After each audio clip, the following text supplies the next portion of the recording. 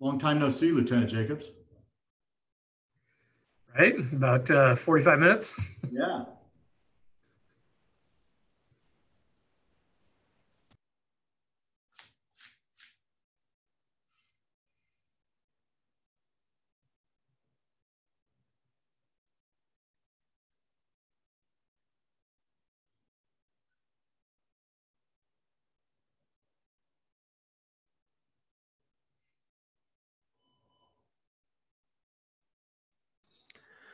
It's noon. Let's start.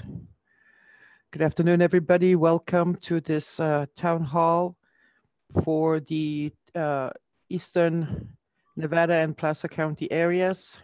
So preparing for wildfire is the topic and I am going to hand it over. Uh, Paul, would you like to do some introductions? Sure. Uh, yeah, thanks, Pascal. Um, and I've, I've got a, a broader uh, introduction that I'll provide later, but uh, we do have representatives on from the fire law, preparedness, and community uh, uh, fire mitigation communities representing Placer and Nevada County, and uh, very excited to be here today. And I think our first speaker was Chief Estes from CAL FIRE. Is that right, Pascal? I believe so.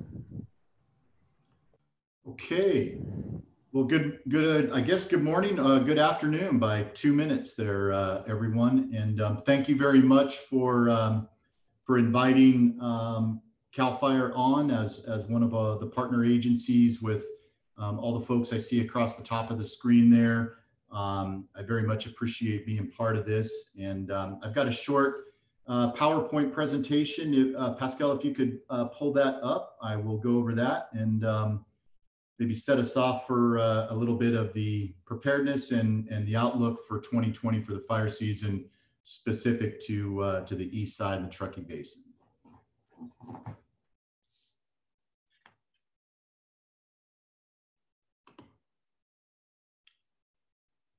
Do we have that, Pascal?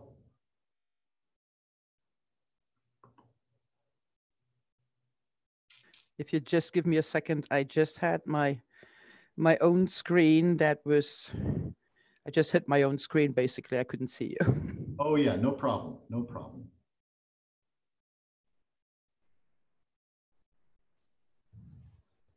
There we go. And I'll just let you control the uh, screens there if you don't mind, Pascal. No problem. Okay, thank you very much. So, um, you know, first and foremost, I just want to um, talk a little bit about um, how important um, for CAL FIRE for the Nevada Yuba Placer unit. Um, I am the unit chief for the Nevada Yuba Placer unit and, and the county fire chief for the Placer County Fire Department. And, you know, the Truckee Basin, that what we generally call the east side, North Tahoe and Truckee areas are, are really an important, important component for our unit um, for a couple of reasons. Number one, uh, and most importantly, is the relationships that we have with um, our local fire districts and our law enforcement um, partners uh, in on the east side. Um, it's critical and it's something that I certainly do not take for granted. Um, and, and the reason for that is, is because the east side presents such a, a different set of scenarios oftentimes than, than we see on the west slope of both Nevada and Placer counties. Obviously, the Lake Tahoe Basin is even more um, specific, but the but the Truckee Basin um, really presents a lot of challenges for all the agencies when it comes to uh, wildland fires and the threat for large damaging wildland fires.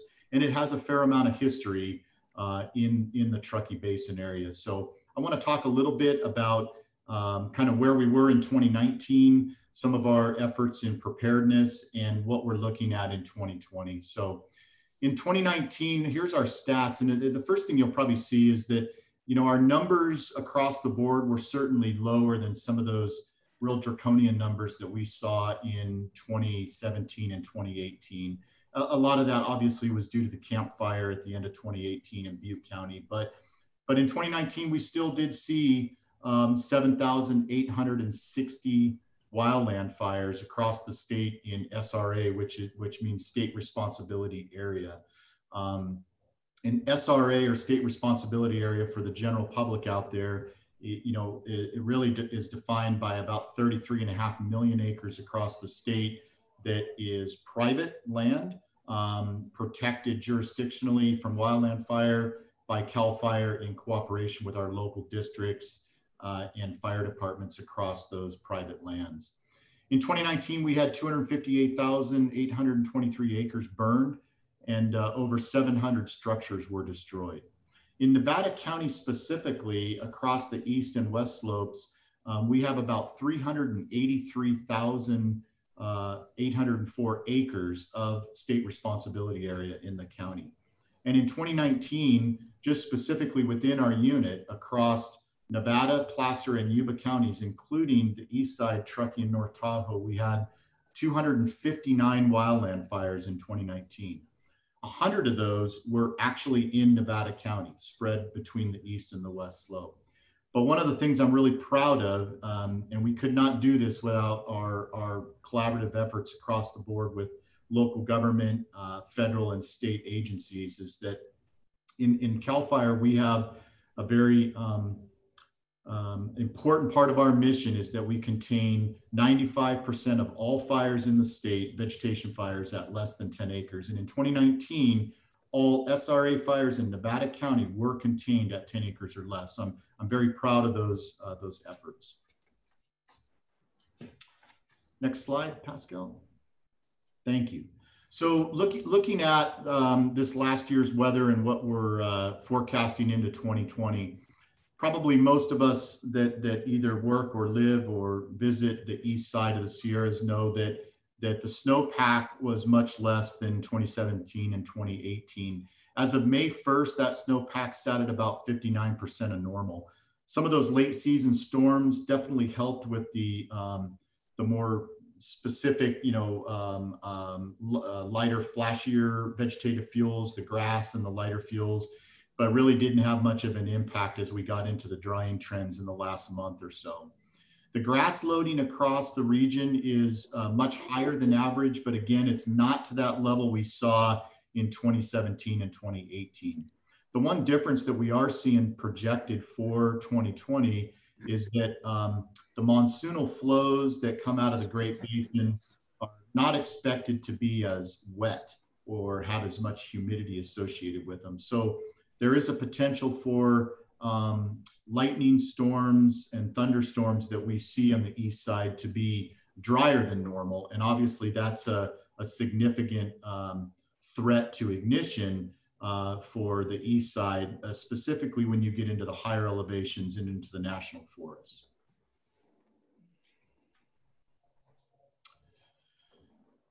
So for CAL FIRE and looking at our 2020 uh, preparedness levels uh, and fire season, um, we declared fire season officially about two weeks ago. Um, it, it, you know, really we are in much more of a year-round fire season the, these days, so it, it, doesn't doesn't have quite the fanfare that it used to when we declare it, but we still do declare it for legal reasons. Um, the bigger thing for us is when we cut burning off or suspend burning and when we look at our peak staffing levels. We do have a year-round presence um, uh, with engine companies, crews, et cetera, across our unit, but it reduces in the wintertime and then it increases as we get to what we call peak. So on June 22nd, we will go to our peak level of staffing, which is 22 engine companies, three dozers, nine hand crews, and all of our uh, firefighting aircraft at the Grass Valley Air Attack Base. Um, we are seeing some potential budget impacts um, as a result from COVID-19, um, both in some uh, personal pay and benefit issues to employees, but also potentially with, uh, with our general budget to the department. As of right now, we're not expecting to see any reduction in suppression services into the near future. We do we have received and have in service two California National Guard fire crews that are based out of Auburn, and we expect to see those in service through 2020. So that's an enhancement to us. And then at a statewide level, um, we have begun the implementation of our new S-70 um, Black Hawk helicopter program, and we expect to see the first four of those of 13 in service uh, through 2020 probably as late as October or November. The very first one is actually on base right now at the Vina Helitack base, which is just north of Chico. And it, would be very common to see that uh, flying in the Truckee Basin this year. And then we have um, all 23 of our air tankers in service with the uh, C-130 program of four additional air tankers that should be in service by 2021. That program is on track. So as many of you um, may know from last year's briefing that Chief Seline and I did, um, there were uh, there was a tremendous amount of money committed to some priority projects around um, the state. And Placer and Nevada County received um, funding and direction for two of those priority projects. And so as we look back over the first year of work on those, the Ponderosa West Grass Valley Defense Zone and the North Fork of the American Shaded Fuel Break, both of those, we completed over 1,800 acres of treated fuel reduction in 2019 um, across in excess of 130 different private land ownerships. Um, right now, we're looking at the direct protection of in excess of 8,000 private residents because of the work done. Um, and, and we had at peak over 210 personnel assigned to that fuel reduction project. And I can't, I can't say how important, you know, when I look at, I see Paul and Jamie and, and uh, Lieutenant Jacobs and people there that, that these projects, whether it's the North Fork and Placer or, or Ponderosa, these projects would not have been possible had it not been for the collaboration between Nevada County, the Fire Safe Council, um, you know, the Sheriff's Office. I mean, it, it, it, unbelievable collaboration to make this happen. I'm very proud of the results we've seen from that. Um, and, and we will see that continue over the next three to five years on both projects as we've kind of handed the baton to, to Jamie in, in, in uh, in uh, Nevada County and Jen Tamo and all the folks at OES to continue that work and we will continue to support them over the next five years to make sure that that gets done in completion. So specifically this last year on the east side in, in, in regards to CAL FIRE and our relationship specifically with the Truckee Fire Protection District, Chief Seline and his very professional fire district and the staff, um, we, we collaboratively made a decision based on some of the dry conditions to staff a fully funded state fire engine through the wintertime at Station 50 at Truckee, which is a co-located station between ourselves and Truckee Fire. Um, we normally staff two engines there, as you can see in that bottom picture during the peak seasons of the year, but we, we did staff an engine up there all through the winter. And it was a really, really great um, kind of evolution for our relationship. Not only did it add to the mutual aid efforts on the all risk fire and emergency mission, but they were able to complete some tremendous prescribed fire efforts uh, uh, in the Lake Tahoe Basin on the north end at Burton Creek State Park, as well as in the Truckee Basin. So I'm hoping that, that, that we will continue those efforts into the winter of 2020. And lastly, just um, forecasting what our efforts will be in, in the Truckee Basin this year. We, we uh, with peak staffing, we'll have our two engine staff with a battalion chief at Station 50 in Truckee, uh, our one engine at Carnelian Bay Station 55, which is thanks to Chief Schwartz and his staff there at North Tahoe. We, we are able to, uh, to lease that fire station and provide that service in the north end of the lake.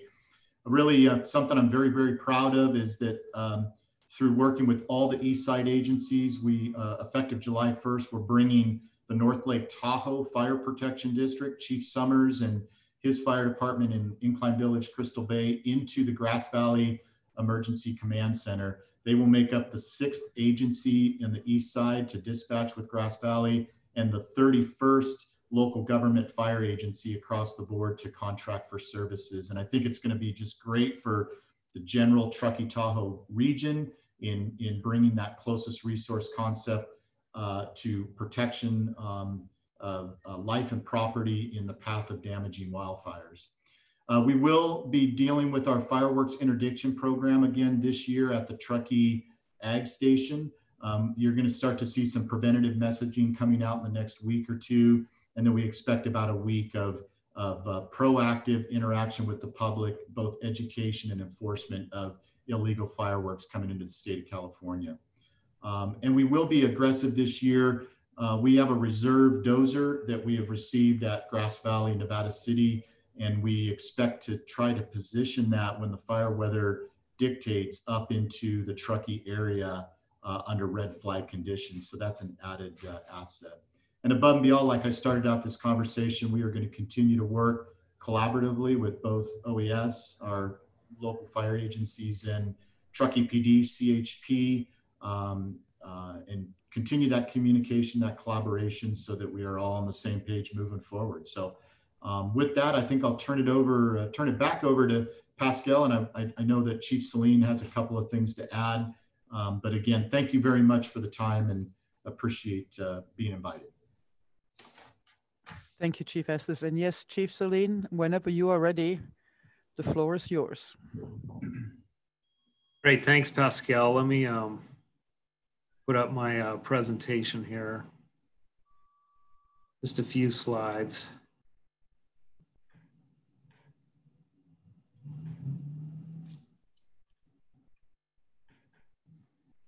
Yeah, good afternoon, everyone. Uh, thank you, Chief Estes. A great overview, and uh, uh, we sure uh, enjoy the partnership that I think uh, the community uh, here in the Truckee area benefits from for sure.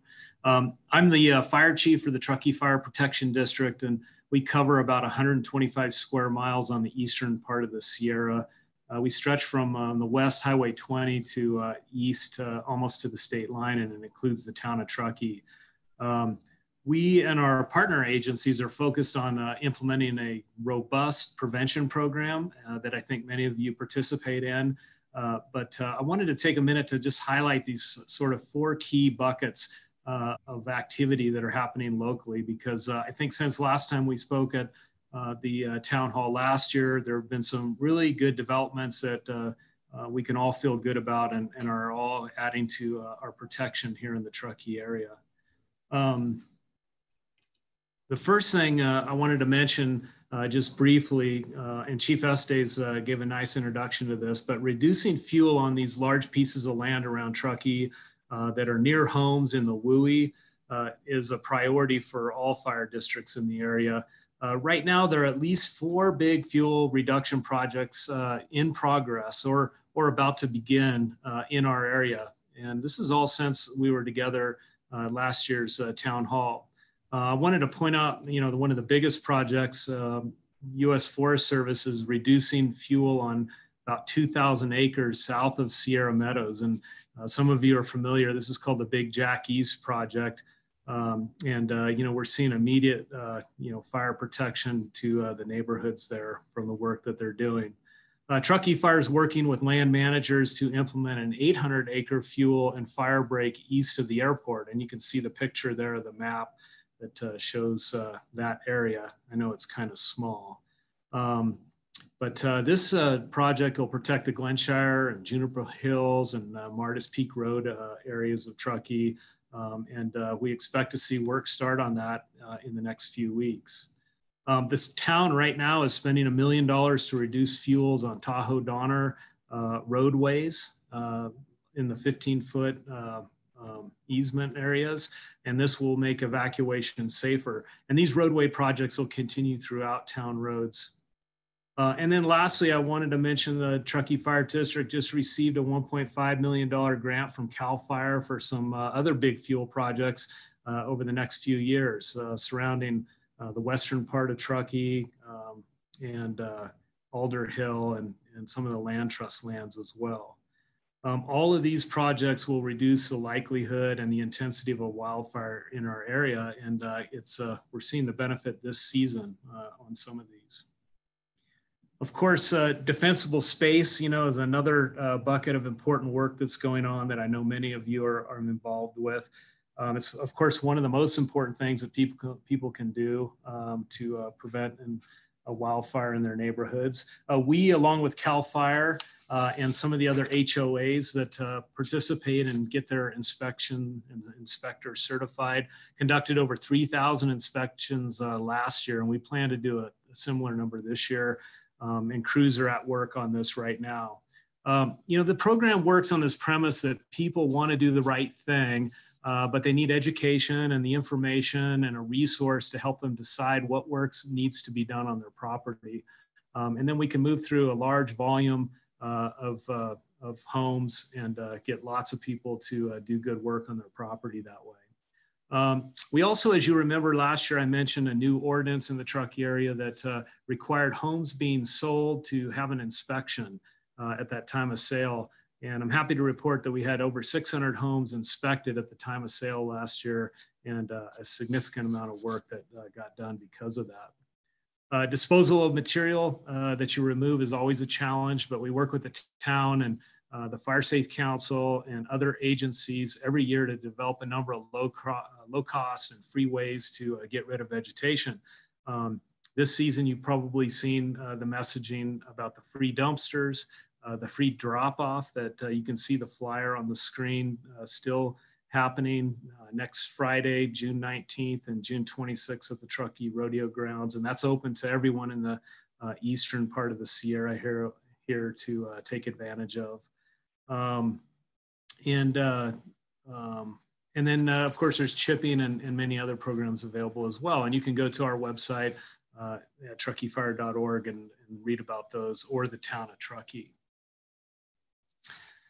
Um, Firewise communities, you know, last year we told you about this program uh, that was relatively new to our area, and it encourages neighborhoods and neighbors to take action and to engage in uh, creating a fire safe community or what is called a Firewise community.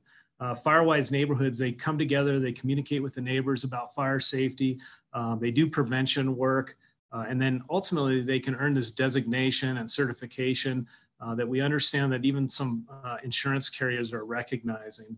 Uh, last year at this time, I think I reported four Firewise communities that were in the fire district, but I'm really glad to report that now we have uh, 19 certified neighborhoods, and you can see those listed on the board there, and a few more in the works right now that are on the cusp of uh, getting completed. Uh, but if you're not a Firewise community and you uh, want to take action to uh, participate, you can uh, reach out to the fire district, give us a call, and uh, we'll get you with our facilitator to get that done. Um, the campfire ban, you know, lastly, you know, as you've heard, 95% of wildfires are caused by humans. And we think improperly extinguished campfires and charcoal ashes are a preventable cause of fires in, uh, in our area. Uh, in the fire district and in the entire region now, we have an ordinance banning campfires and charcoal barbecues uh, once CAL FIRE uh, puts in place the burn suspension, uh, which this year is going to start uh, Monday, June 15th for our area. So next Monday, our campfire ban will go into place. Of course, this doesn't include federal and state campgrounds. Um, and it'll be in place until uh, we get significant moisture in November. Uh, you can learn more about the details of that uh, again at our website, truckeefire.org. Uh, and I did want to point out that gas fires and gas barbecues uh, are allowed. Uh, Pascal, that's all I had. Thank you. Thank you, Chief Seline. And for now, we'll toss it to Paul uh, Cummings, our Nevada County OES Program Manager. Paul. Thank you, Pascal. And you know, I realized I missed an opportunity to introduce all of our panelists one by one. So I'm going to run through that real quick, just so that our audience knows um, who we have on today and maybe where they can direct their questions. So you've already heard today from uh, Chief Brian Estes from CAL FIRE and uh, Chief Bill Seline from the Truckee Fire Protection District. So uh, they're our fire representatives today. Uh, on the law side, we've got Lieutenant Robert Jacobs from uh, the Nevada County Sheriff's Office. Uh, he's our uh, county EOC and evacuation uh, expert. Uh, we've got Lieutenant Paul Long from the Placer County Sheriff's Office, Officer Phil Cooper from California Highway Patrol. So those three individuals can all answer your evacuation questions. From the Office of Emergency Services, you've got myself, Paul Cummings from Nevada County. On the Placer County side, we've got Holly Powers on today. And then in uh, the town of Truckee, uh, Bob Womack, he's uh, working with Truckee PD as their emergency coordinator. On the defensible space and uh, vegetation mitigation side of things, we've got uh, Patrick Mason on, who's representing the county defensible space program that works in the unincorporated portion of Nevada County, and he's with Nevada County Consolidated. And then Mrs. Jamie Jones, she's the executive director for the Fire Safe Council. She's got a lot to do with the, uh, the green waste programs and some of the other things that have already been mentioned. Uh, Jonathan Cook Fisher on today from Tahoe National Forest. Hello, Jonathan. Uh, we've got Chris from the National Weather Service who's going to provide us a summer outlook, I believe.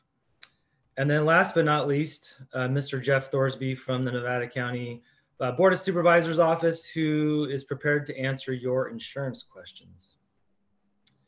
So like I said, I'm Paul Cummings and I'd like to first thank YubaNet for hosting uh, these virtual community webinars and town halls that allow us to continue to be connected. And I appreciate all of you tuning in today to today's uh, wildfire town hall.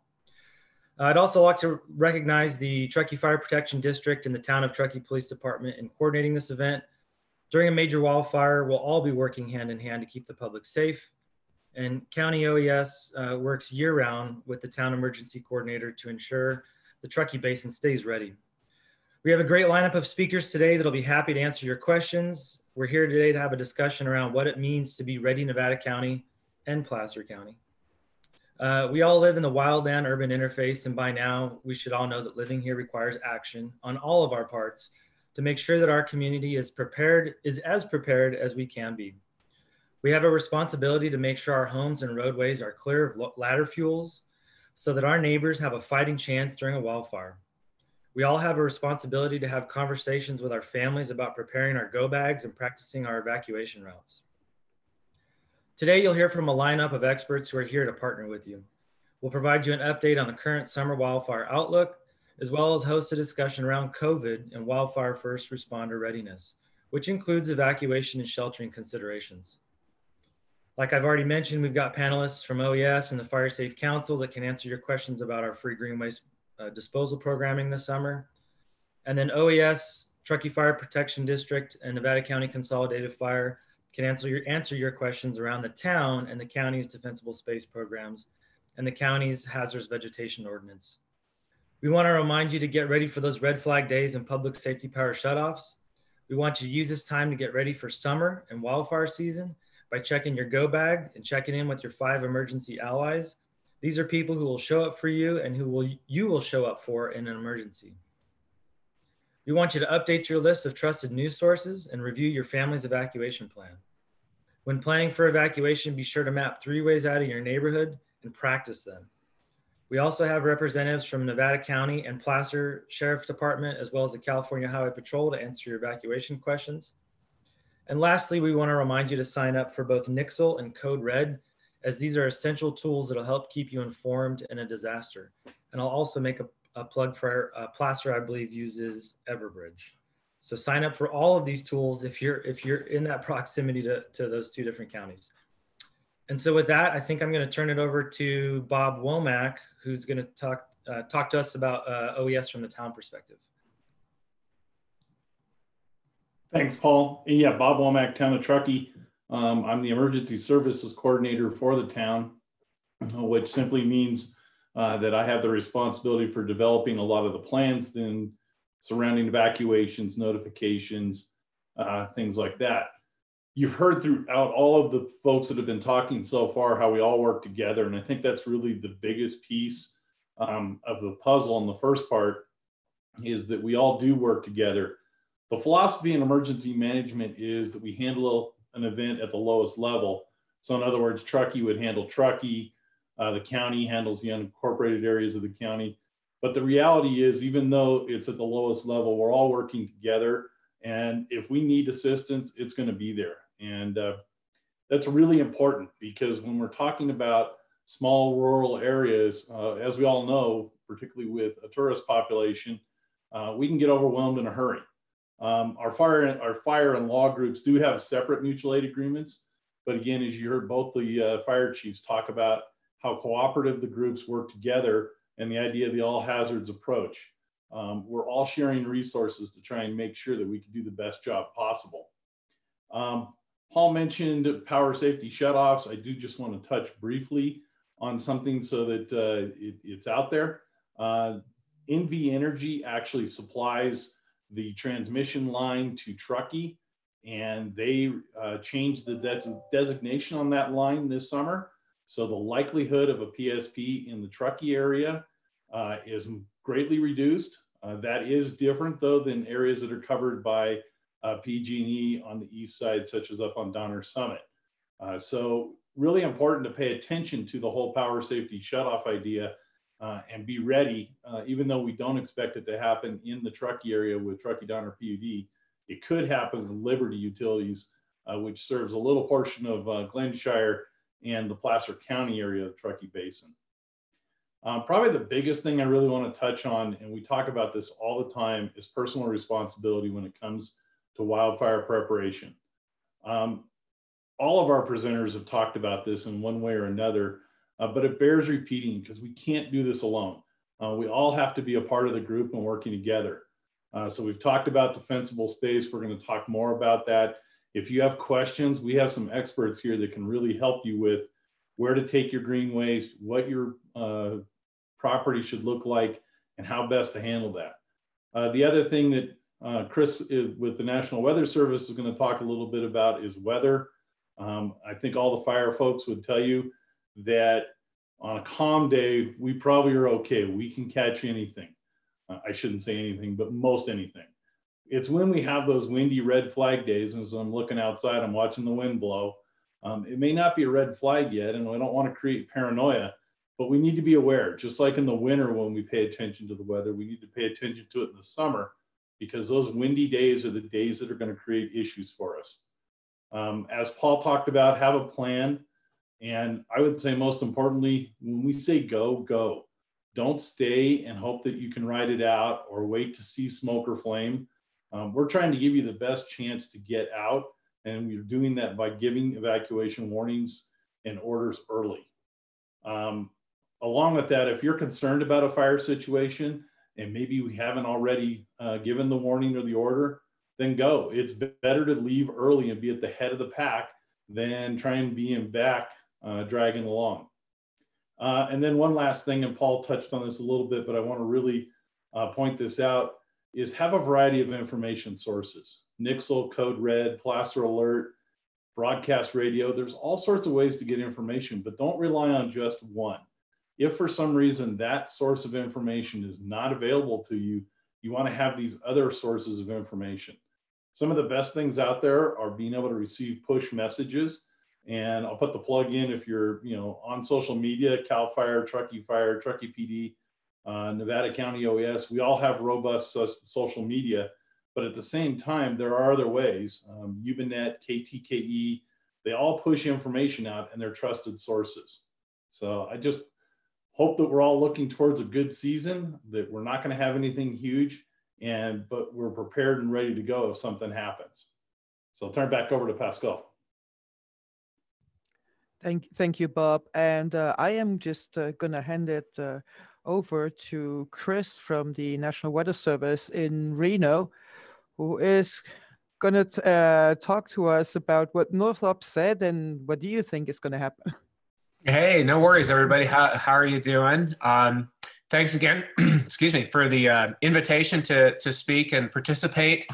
Um, been doing a few of these virtual uh, virtual things and think I'm finally getting the hang of it. Um, so basically, you know, we've already kind of covered the seasonal outlook for what we expect, and and and uh, you know, from the weather service perspective, we we think the same thing. It, it just I think going into this year, it's different than the previous few years. The previous few years, we were kind of spoiled by having just tons of moisture and snowpack up here in the mountains. Kind of kept things sort of you know moist and green for longer periods into the uh, into the dry summer and fall months. This year we don't have that, and so we're already starting off dry. And uh, if anything, the, the signals are for an above average uh, temperatures for this summer. So um, this kind of opens up the, the mountain areas for, for uh, greater fire potential. So I think that's a key difference going into this, this summer that I, I want to reemphasize. As already said, but I think it's really important to say it again. Uh, from our perspective, that's the, uh, the case. Uh, what I really want to hit on is um, is red flag warnings. Um, that's how the Weather Service participates in the process. Is we do the prediction. Uh, is we we kind of set the stage for hey, these are the days where where things could uh, go off the rails pretty quickly uh, in terms of fire with with windy conditions or with thunderstorms. So um, you're probably some terminology you might hear, especially if you're new to the area, um, is fire weather watch and red flag warning. And so just like with any weather alert, there's different stages and categories. A watch is indicating kind of an outlook like, yeah, you know, these conditions may occur, but we're not sure. You know, the confidence is just sort of medium at this point. a warning is like, yeah, these conditions are pretty much certain to occur and, and cause significant impacts. And so that's the, the stage. There's different words, fire weather watch, red flag warning, but they're all kind of looking at the same thing. And there's two things that we look for um, to anticipate days where fires could get very large very quickly. And that is uh, gusty winds and low humidity. No surprise there. So we look for days where the winds are gusting above 30 miles an hour and the relative humidity below 15 to 20%. And that has to occur for three hours or more. It can't just be sort of hit and miss here and there. It has to be a, for a more prolonged period. And so we're actually looking for one of those, um, not so much in, in Truckee, but further to the east and more into Nevada on Friday, on tomorrow. Uh, looking at a pretty good red flag day in, in those areas. And the other situation that we look for are thunderstorms. Uh, those thunderstorms that produce a lot of lightning, but not much rainfall. And the classic example of this here in uh, Tahoe and Northern California is June of 2008. We just had a tremendous lightning outbreak. Hundreds, I think even over a thousand new fires were started. And this set of thunderstorms actually came through at night. You know, most people think thunderstorms occur just in the afternoon and evening, you know, kind of the Great Plains supercells type of stuff. No, th- these events, uh, a lot of times in California and Nevada, could actually occur at night. And that's actually even more problematic because it's harder to get resources to those fires in the middle of the night as quickly as compared to the day. So um, again, when we put out a fire weather watch, that's kind of an outlook. A red flag warning is more of a, hey, yep, it's definitely going to happen. And the predictability does vary on those wind and low humidity days. We can actually see those three, four, five days in advance. In fact, tomorrow's wind event for Nevada, we've been tracking that for a number of days now and been able to kind of message it and give people a heads up.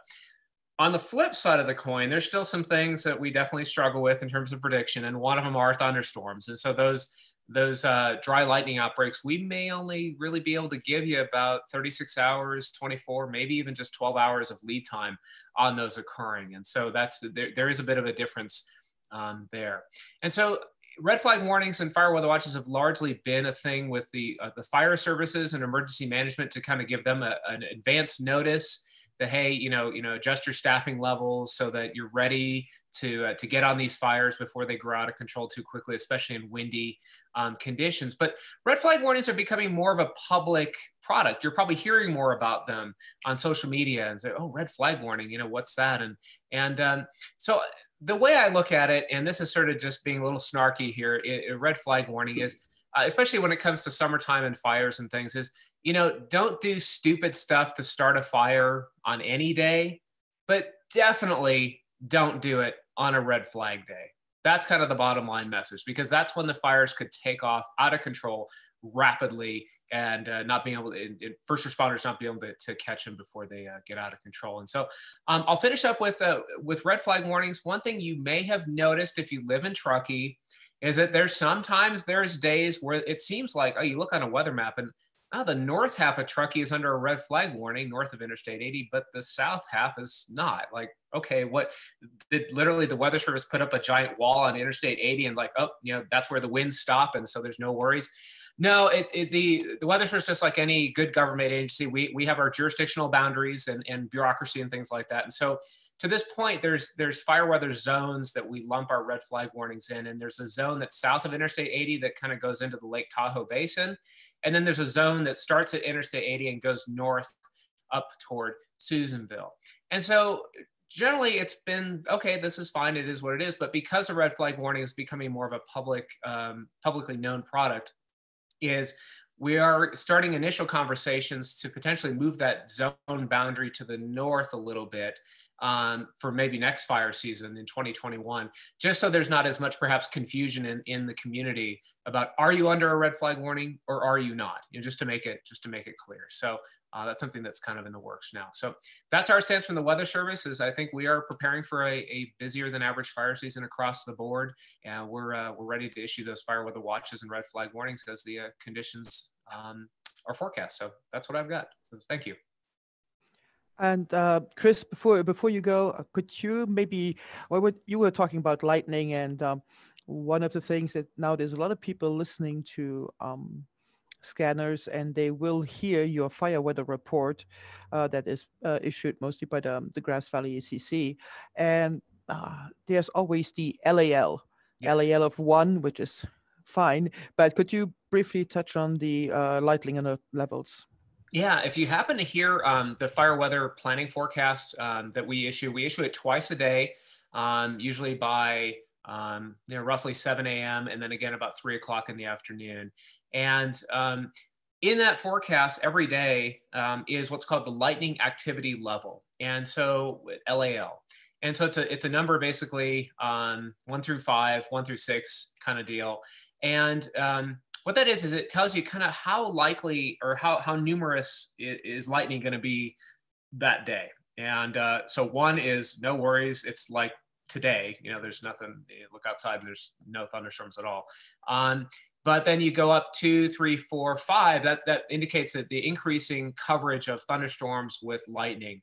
And then LAL six is actually a special one where that indicates that they're going to see thunderstorms with lightning, but they're likely to be pretty much all dry thunderstorms with no precipitation. So LAL6 is automatic alarm bells, red alert, shields up, you know, everything like that, that, hey, this could be a, a bad day for uh, dry lightning in, in the region. But don't discount the days where LALs are two, three, four, five, because even when we have wet thunderstorms that are producing rainfall, if they're moving along quickly enough, that rainfall may not be enough to mitigate the lightning strikes in the vegetation. So, you know, you have a lightning kind of, you know, ticking along here with the thunderstorm and the rainfall moves off too quickly, then you still could get some new fire starts. So um, really anything, you know, LAL2 is very isolated, but certainly three, four, five, and definitely six are the, the ones I for sure pay attention to.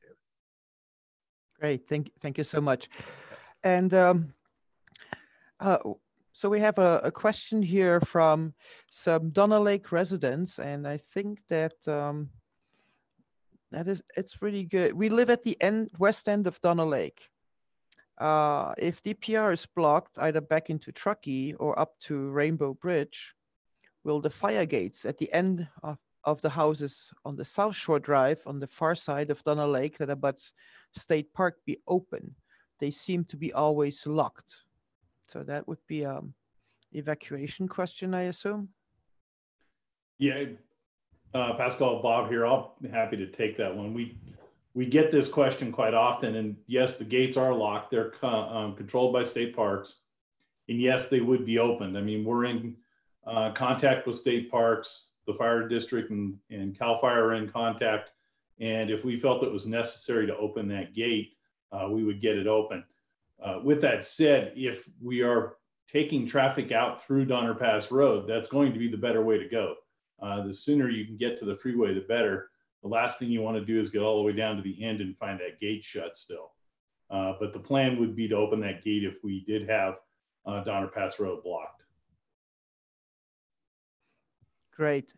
Um, uh, can we uh, maybe also get a uh, a little update uh, going back to to weather actually. And Paul, could you could you talk a little bit about um, the uh, talk to us first of all about the red flags, and then also the county-wide red flag notifications and etc. And how the word will get out uh, on both sides of the summit. Yeah, thank you, Pascal. And you know, as you've already heard, you know, uh, red flags are important because they're an indicator of threat, of wildfire threat. And for Nevada County, the number one threat that you're going to face uh, as far as disasters is wildfire. So um, we have many ways to notify the public. Um, you may have heard us talk before about Civic Plus. That's the first one I'll mention. And that's a county notification system that will send you an email essentially saying, hey, there's a red flag today. Um, you know, this is the duration of the warning. I would also encourage you, and you're going to hear this as a theme today, to to find the trusted news sources for your area. Um, so I've I've got here the Ready Nevada County Ready Set Go handbook um, that most of you should have received, and in in that handbook, um, there are many trusted news sources that if you're tuning into during this time of year, you should be notified of a red flag. You know, listening to the radio, uh, you know, YubaNet, online news sources, things like that. Uh, you'll see visual indicators of red flags. So all of our fire departments, end to end in the county, are going to put a great big red flag out in front of their fire station uh, when there when there's a red flag. You'll see it in front of the county offices, and we've got a few other partners that are going to put those flags out. So if you see those flags, it means you need to increase your readiness level that means you need to be dusting off that evacuation plan. You need to be having a conversation with your with your family that if you're separated, you know, kids are at school and you're working at one end of the county and your spouse is at the other end of the county, you might want to just um, re-engage on that conversation about if something happens and and and you're cut off. Um, here's our here's our plan. You know, we're going to meet here. We're going to meet there. You know, this one will try to go get the kids. Um, you're going to have your go bag ready. Your your um, your vehicle maybe even packed depending on the conditions. And if you're at home, you know, have your your vehicle back down the driveway and have it gassed up. My point being, you really want to increase your readiness level because the potential for a large scale fire is much higher. Perfect. Thank, thank you so much, Paul. And I believe at at the same time, it's uh, the the general readiness of, of people of the residents. So having the go bag, having the five, being ready, being signed up to to everything. Uh, the biggest question we we get several here is always about evacuations and why there are no specific plans for evacuations. So uh, maybe Chief Seline, can you maybe talk about why you can't tell somebody, depending on where they live in Truckee, which way they have to evacuate if a fire comes through? Actually, Pascal, I'll pass that to Bob Womack, uh, the emergency manager. He spent the time on evacuation, evacuation planning. Yeah, Pascal, I mean, and it's the same across the county and across the state. We just don't know where the fire is going to start. Uh, what we do tell people, particularly on the east side, is we want you to get to the freeway. So uh, Paul mentioned having three different routes. That's a great idea. Uh, one of the biggest is if we're directing you in either in law enforcement or volunteers or whoever is directing traffic for you, follow what they ask you to do. The reason they're doing that is because they know what they're trying to accomplish. Uh, far too often we get people who decide there's only one way they can go, or they don't know another way. And so that becomes a conflict that just makes it take longer to do that evacuation. Uh, but if we don't know exactly where the fire is starting or which way it's going, it's a little hard to ahead of time say this is exactly the way you're going to evacuate. Now, what we have done, and on the town website, there's an evacuation route map. Uh, we have main roads, all the main roads we've mapped out then lead to uh, the interstate. And the idea being that if we can get you on the interstate, we can get you either east or west, depending again where the fire is. Uh, if we have a fire to the east of town, we're probably not going to send people to Reno. Uh, by the same token, if we have a fire to the west of town, uh, we are going to send people to Reno. So it it really depends on where that fire is starting and where the winds are blowing as to exactly which way we're going to take you out. But the goal is always going to be to get them to uh, Interstate 80, uh, where we have the ability to handle the largest amount of traffic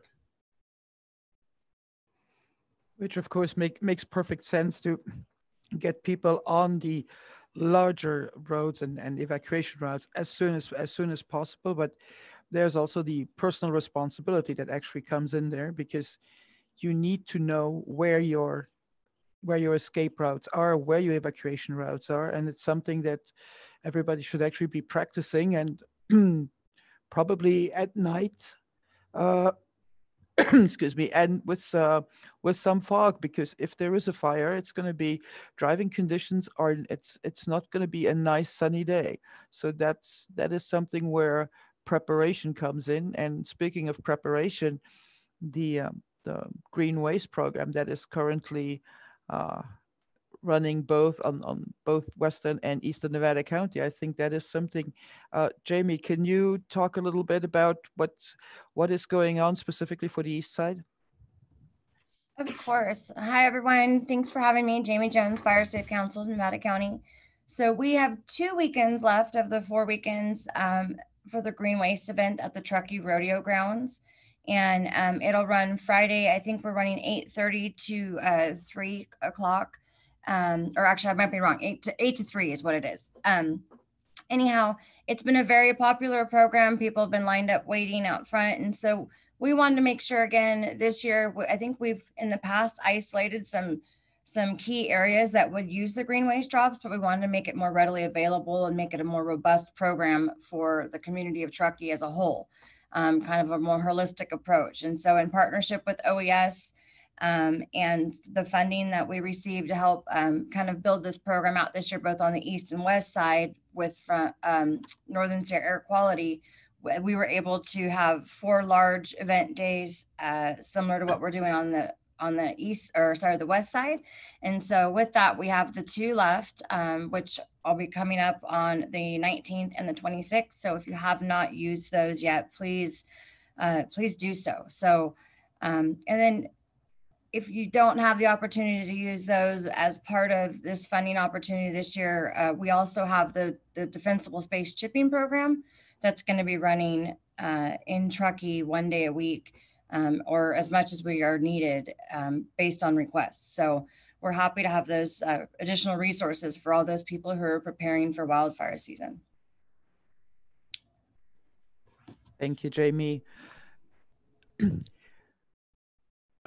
okay, here, here's, here's another um, evacuation question. How will we learn about if I-80 is going to be turned into uh, one way in both directions? Is that even an option? Um, I'm happy to take that, or else if one of the uh, CHP folks wants to, um, as to what our plan would be in that area. Bill, I'll go ahead and let you start, and then we'll we'll add to it if we need to. Okay. Okay, so one of the biggest things about turning I-80 into a one-way direction or what they call contraflow is that will create a very uh, difficult time for us to get fire apparatus, fire equipment back into our area. Uh, if we try and turn it into both both directions one way, then there's no way to get our fire equipment into this area. Um, so that's kind of the uh, overarching concern about doing that. Uh, so that would be where we would start from. And the good thing is the way the roads are in eastern Nevada County, because they are small uh, singular roads that feed into feeder roads, arterial roads, and then into the freeway, which can handle the traffic from the different subdivisions. Um, the hope would be we wouldn't have to do that. It would be uh, a very unusual situation. So then I'll turn it over to CHP. So the one one thing to talk about really quickly, whenever we're talking about going one way on the freeway, that um, is extremely important. A, we're an interstate, so we've got people coming from you know all over the country that's coming through here, even though there is a disaster going on. So that is something to be uh, cognizant of when we're talking about this. But more importantly, um, normally we're not talking about going in that total contraflow uh, direction we're talking about pushing traffic in one direction. So if we know the fire is coming from the western part of this eastern side of the county, we're obviously going to try and push traffic going east and getting them away from uh, what would be the danger zone in that in that uh, complex. So if we have people coming out of Tahoe Donner or anything like that, we don't want them running west and going back and up over the summit. We're going to push them down into Reno where there's resources that can help them, and uh, and we can establish things from there and go from that point. which of course again makes perfect sense and it, and of course the leave early. Don't don't wait until you uh the, you hear the the sirens and and add over the loudspeaker. Just leave early. The earlier you leave the the better it is. Um also uh pascal so that people kind of understand we we certainly work chp works with their local their different area offices and we work with uh, Nevada Highway Patrol, we can shut the freeway down farther away from the problem so that we have the ability to reduce traffic into the area, um, which that allows us to get the fire equipment in, uh, but at the same time, it gives us um, reduced traffic in the area that we can deal with. So a lot of this is, is what the planning that I work on, but we work with all these agencies collaboratively to make sure we've got a program ahead of time and we kind of have a concept of what's going to happen. Thank you, thank you, thank you for that clarification. That's that's really important, and uh, I have a few people who asked about so basically the the coordination and the mutual aid between fire and law enforcement, how how that actually works because uh, there have been stories about um, fire and law enforcement not being able to talk to each other, being on different frequencies and radios a couple years ago. And somebody said that during the Angora fire, for example, there were issues. And uh, can you give, can one of you give some reassurance that these problems have been resolved?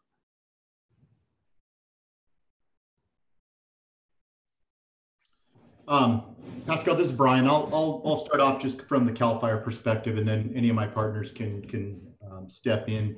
Um, you know, it's interesting. I, I just left Lieutenant Jacobs, uh, I don't know, an hour ago down at the Rood Center in Nevada County. And, um, you know, one of the things we were talking about was unified command. And so, you know, the, the question being, are there radio communication interoperability challenges across the state? The answer is yes. Um, and, and I don't know if we will ever um, be able to completely get over or um, or have a completely interoperable radio system. There's just too many dynamics, too many, you know, whether it be topographic features, population densities, individual missions. Um, so, so, you know, speaking from Nevada Yuba Placer Unit, CAL FIRE, and our relationships and how we run incidents, um, you know, we, we don't rely on the interoperability of, of communications solely.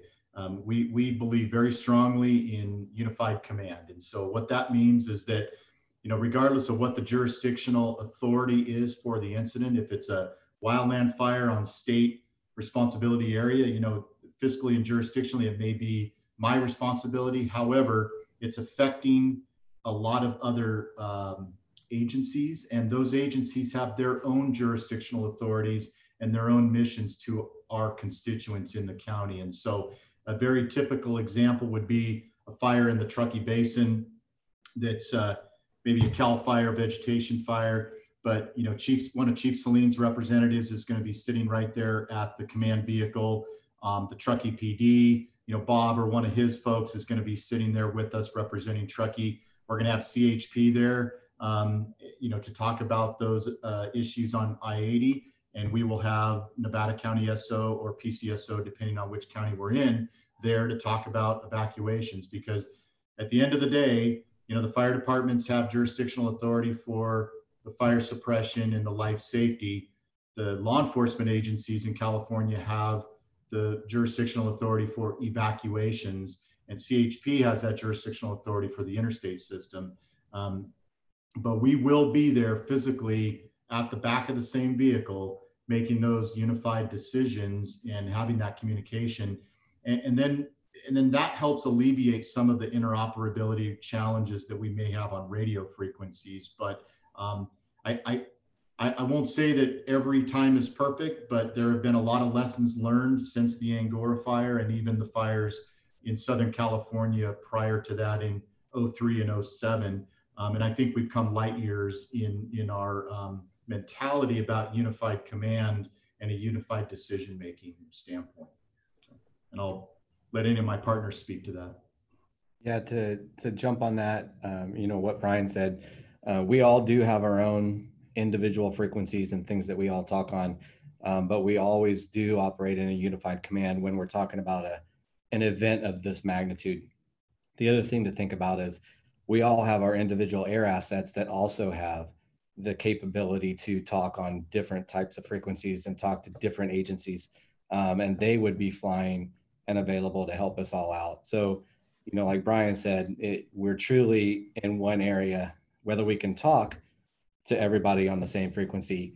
Um, sometimes it's better not to do that just because you have a hundred different people trying to talk at the same time. So, you know, with having the the management team at the unified command or representatives there, then we can start planning and issuing out individual directives to our to our agencies or our partners that are helping us out. Yeah, Pascal, that's I mean, every year Truckee PD, Truckee Fire, CAL FIRE, and the surrounding agencies, so uh, Northstar, North Tahoe, Squaw Valley, and the Forest Service get together to do wildland planning. Obviously, this year that looks a little bit different, but we're still going to do it. Uh, but part of what we do is really enforce or reinforce the idea that no matter the size of the incident, when we're talking about a wildland fire, actually any wild any fire, um, Truckee PD, the directive from our chief is our supervisor on duty will be at that command post. Uh, and part of that is to do exactly what uh, Lieutenant Cooper was talking about is the issue of making sure that radios are not, we're talking with each other. Uh, and it really, once you get 100 people on the same radio frequency, it's almost useless anyways. We're better off being split off. Uh, but the, the way to fix that is we're all at the same command post, excuse me, same information and making the same kind of decisions. So it's really been worked out fairly well. Um, and I think like Chief Estes said, we're much better than we were in the Angora fire. Hopefully we've learned a lot since then. Great, thank you. Uh, J uh, Jamie, I think you wanted to to jump back in there one more time for to clarify some some times. Yeah, so I, I misquoted or mis uh, misgave you the wrong information on green waste. So it's the green waste drop times are from 8 a.m. till 2 p.m. So I apologize for that, but I want to make sure everybody has the correct information in order to participate. Right, thank you, Jamie. And uh, well, let let's we we know that fire season is here and that we will have fires at one point or another. What we also have, of course, is the COVID pandemic. And um, can can uh, can all the agencies can you address how uh, COVID has changed your your preparedness level and uh, your response and what, what specific measures you take both internally, especially for the fire agencies, uh, how to keep your firefighters uh, uh safe and healthy and how it's going to affect also evacuations and this the whole process. Hi, uh, Bill Seline, Truckee Fire. So I, I, can speak a little bit to it, then I'll um, pass it off to uh, some of my partners here to mm-hmm. short up. But um, of course, uh, you know, preparing for uh, disasters and, and dealing with uh, sick people and patients, it's one of the things that we do in the fire service. And um, it's sort of our EMS component. Uh, you know, communicable diseases is something that we sort of always uh, have responded to, and most recently Ebola in 2014. So it's not completely um, uh, out of the ordinary for us to have to ramp up our uh, personal protective equipment for our firefighters because our first uh, concern, similar to uh, most of the agencies on here, is uh, to protect our people. Um, for obvious reasons, but also to, to make sure that we can provide consistent emergency services to the area. You can imagine in the COVID case, if uh, half of the firefighters went out sick on a particular shift and we lost them, um, then uh, we would have to figure out how to continue to provide fire, rescue, and, and EMS ambulance services to uh, the Truckee area. Um, and that could be challenging. Of course, we have robust uh, mutual aid system uh, in the state of California that uh, we can rely on or that we had to do some work on to make sure that that was in place so that we didn't have a situation that happened in some other states, uh, most notably in Sun Valley, Idaho, where uh, they had to hire ambulance drivers off the street to uh, uh maintain the ambulance service. And uh, of course, we never want to get to that point. And so uh, we pre planned a lot on the contingency portion of that to make sure that we had coverage if we did have firefighters sick. But before that, we worked to protect our firefighters. And so what you'll notice now, um, in uh, the Truckee area when the firefighters go out on an EMS call that they'll Uh, have uh, face protection on, uh, that they'll limit the number of people that are exposed to the patient, uh, that uh, they do quite a bit of detailed disinfecting of the back of the ambulances and their emergency equipment.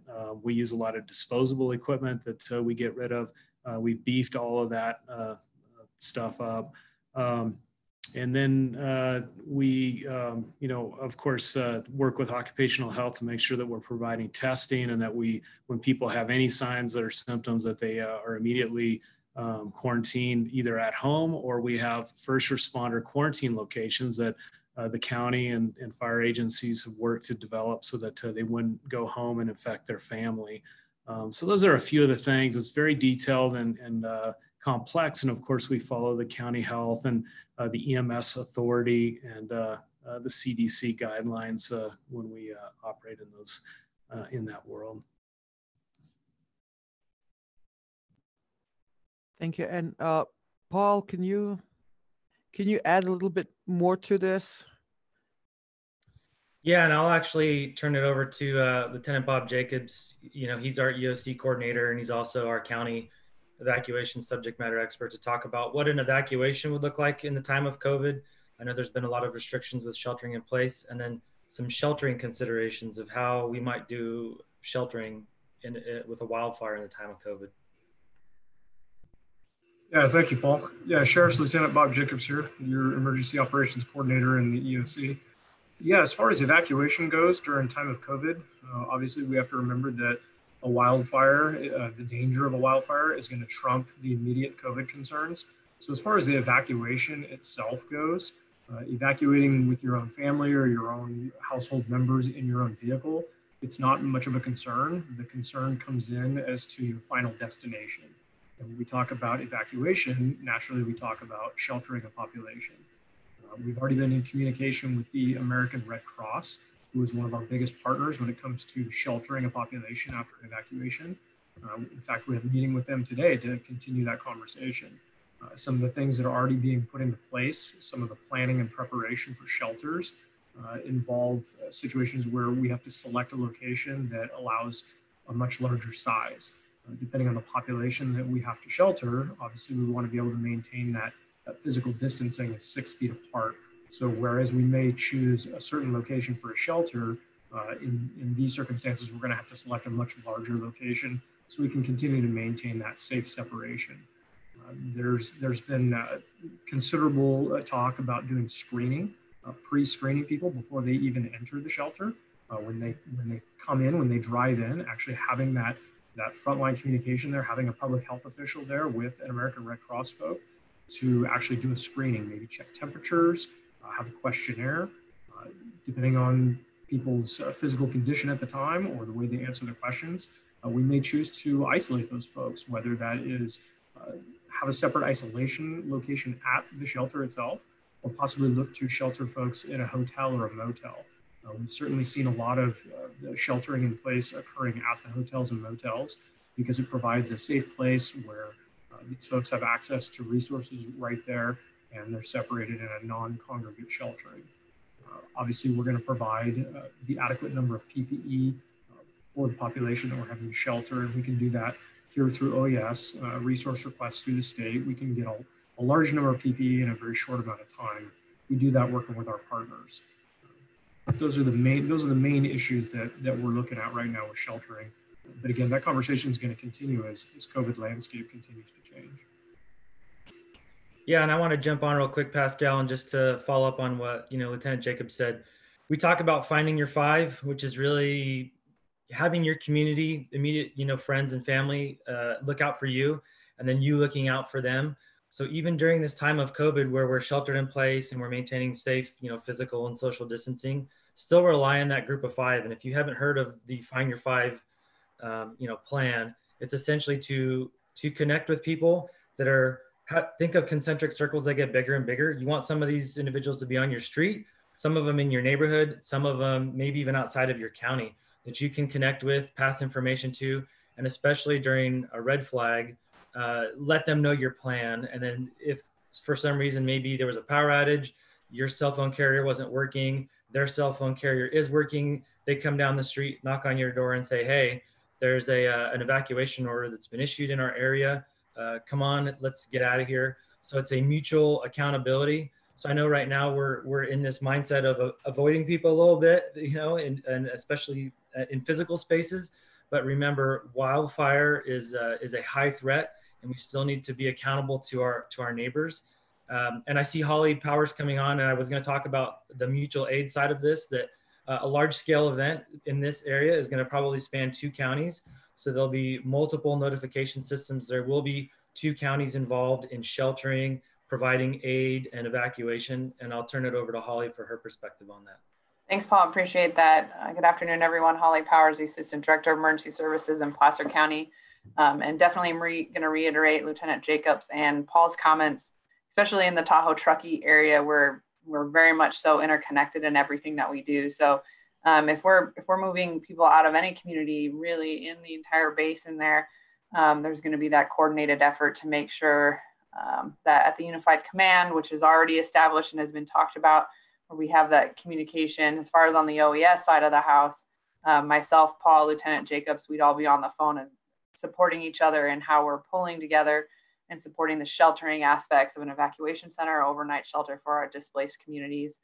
Um, and we work very closely with our health and human services partners, um, as well as the Red Cross, to be able to provide the appropriate accommodations based on the community impacts, um, which would include the current situation and different planning that we're doing within some of the sharing atmospheres could include, um, as, as Lieutenant Jacob mentioned, bigger spaces, um, maybe putting pop-up tents inside of a gymnasium with walls on them. So your, you know, camping pop-up tent now gives you a 10 by 10 space that your family unit would be sheltering in within that space. We can make sure we can maintain that social distancing um, and finding alternative ways to really support the communities um, that we've been supporting over the last couple months through COVID. So um, all of these aspects are um, currently definitely under conversation between the counties and the city um, and how we best support each other.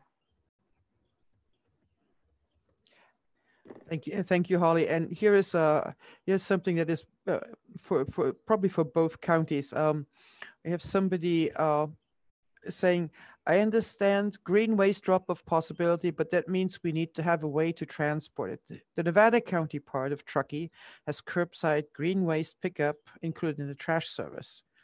But our West Donner ca cabin is in Placer County.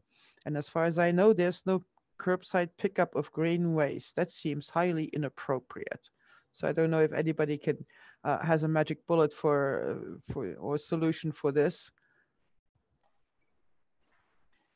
This is Holly. No, yes, I, I don't have the magic bullet for this, um, but I can uh, definitely check in with our waste management and see what uh, might be available. And I, I saw Bob come mm-hmm. off, so. and then at uh, a question going back to the evacuation is, what about for people that have RVs? Are they going to be designated uh, uh, RV spots that will be open for sheltering? So Pascal, I'll, I'll go ahead, Bob touch on that uh, the green waste real quick because I I think this is part of a larger conversation that happens quite often in the Truckee area, and and really why we made this a Truckee basin. Um, when they're talking about green waste curbside pickup, that's a town funded uh, project. It, it really has nothing to do with either county. It's because uh, the town of Truckee in its franchise fees and agreements that it's worked out pays for that service. Uh, so it's unfortunate that somebody that lives in Placer doesn't get that service, but it's not a county problem. It's really because the Truckee residents are paying more for their trash service to get that. Um, not to say somebody couldn't, obviously the transport issue is the problem, uh, but that that's the difference there.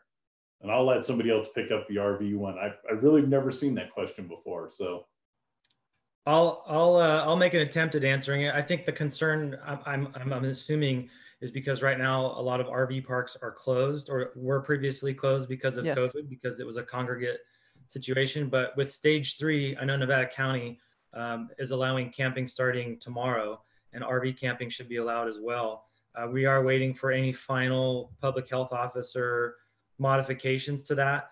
But um, so I think to answer the question, throughout the summer if you needed to evacuate and cross county lines and if your option was to stay in an rv park i would still call ahead to make sure that they're open.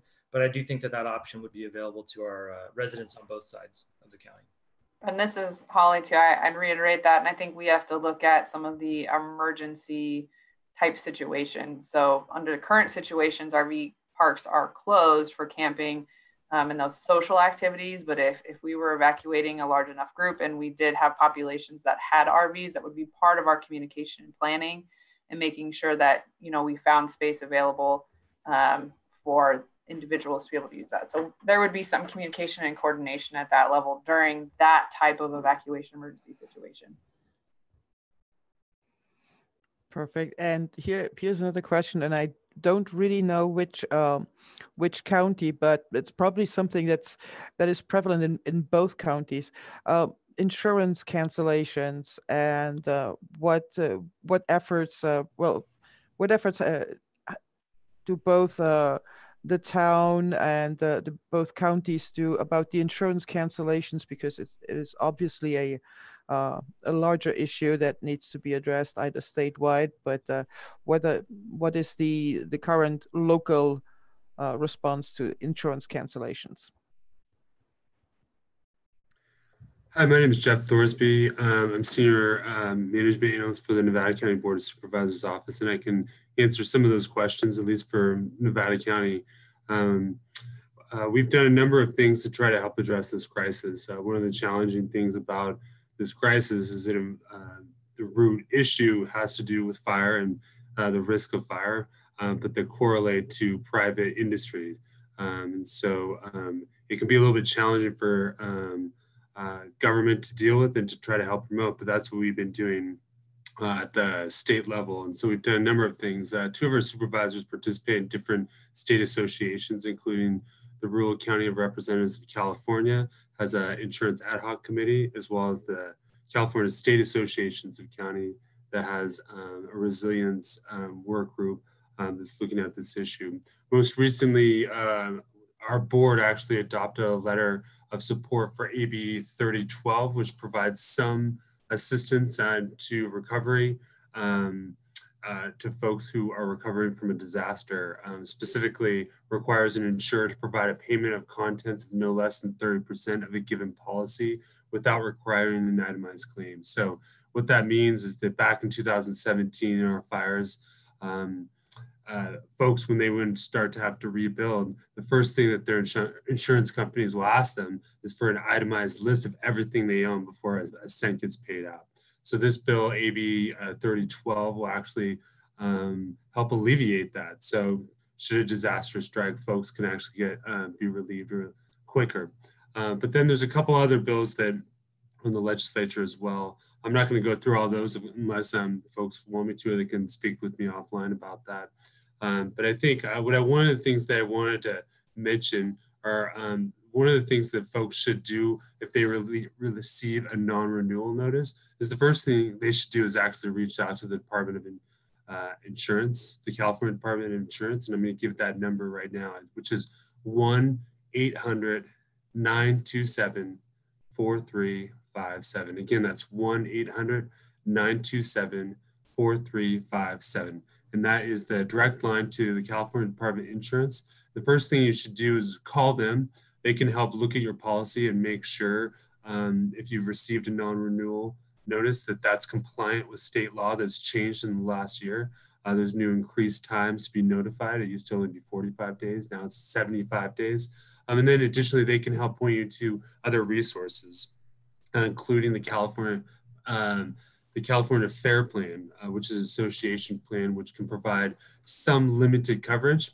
I think uh, probably a lot of our listeners today um, might have a California Fair Plan. It's important, it's very important to look at that. That plan is not a comprehensive plan. So it's not going to include things for general liability or workman's compensation if you should do work on your property. Uh, so you need to look at what's called, need to get what's uh, referred to as a difference in conditions policy. So it's two different policies they're matched together. Um, and so the Department of California Department of Insurance can actually help provide guidance on how that works and also identify brokers uh, to, um, to able to help folks find insurance or may ensure that they're properly insured. So that's the last thing I want to mention is that a lot of folks feel like they have insurance, they haven't received a non-renewal notice, they're good to go. Um, and then, uh, and then a fire may strike and you may lose your home. And then suddenly you realize you may be um, uh, underinsured. And so that may create problems. And one of the things that can happen that uh, happen um, in a lot of places in California is if there's a huge fire that sweeps through an entire area, uh, suddenly the price of rebuilding goes up. So you you're you may think you're properly insured today, but um, you may not be tomorrow. So those are really important things to be looking at today. Um, and I'll go ahead and leave it at that. I don't want to take too much time, but I'm more than happy to um, uh, answer any further questions or um, provide my contact for further questions. Uh, well, Jeffrey, we have a, question here from Gina who's asking about what about insurance premiums increasing by 100%? Is that going to be addressed? So that one of the things to note that in, there's two different types of carriers of insurance in California. There's what we refer to as the admitted market, and there's something that's the non-admitted market, or also referred to as the surplus line carriers. The admitted insurance carriers are going to be your general insurance carriers that probably a lot of you folks may have or used to have, uh, like the farm, um, AAA. Um, those are all those insurance carriers are all actually regulated through the insurance commissioner. So uh, an insurance uh, insurance provider cannot increase their insurance by more than by seven percent or more without being without going before the insurance commissioner and getting approval. There's a whole committee, um, and there's, quite a lengthy process to do so. Um, but what they do, but they can increase their insurance premiums so long as they can show that um, it's actually um, uh, financially sound to do so, and it's really covering their the risk that they are under um, should uh, they receive massive losses in a certain area that they can pay those back. Um, your surplus line carriers, those are your companies like Lloyd's of London, they are not restricted. They can essentially increase their rates as they see fit. So they could increase their premiums up by 100%. So to your uh, Gina's question, what are we doing about this? Uh, so there's a number of uh, pieces of legislation that um, are under review right now um, that are being looked at. Uh, one uh, is actually referred to as Assembly Bill 2167. And what that does is that actually um, allows for insurance premiums to go up.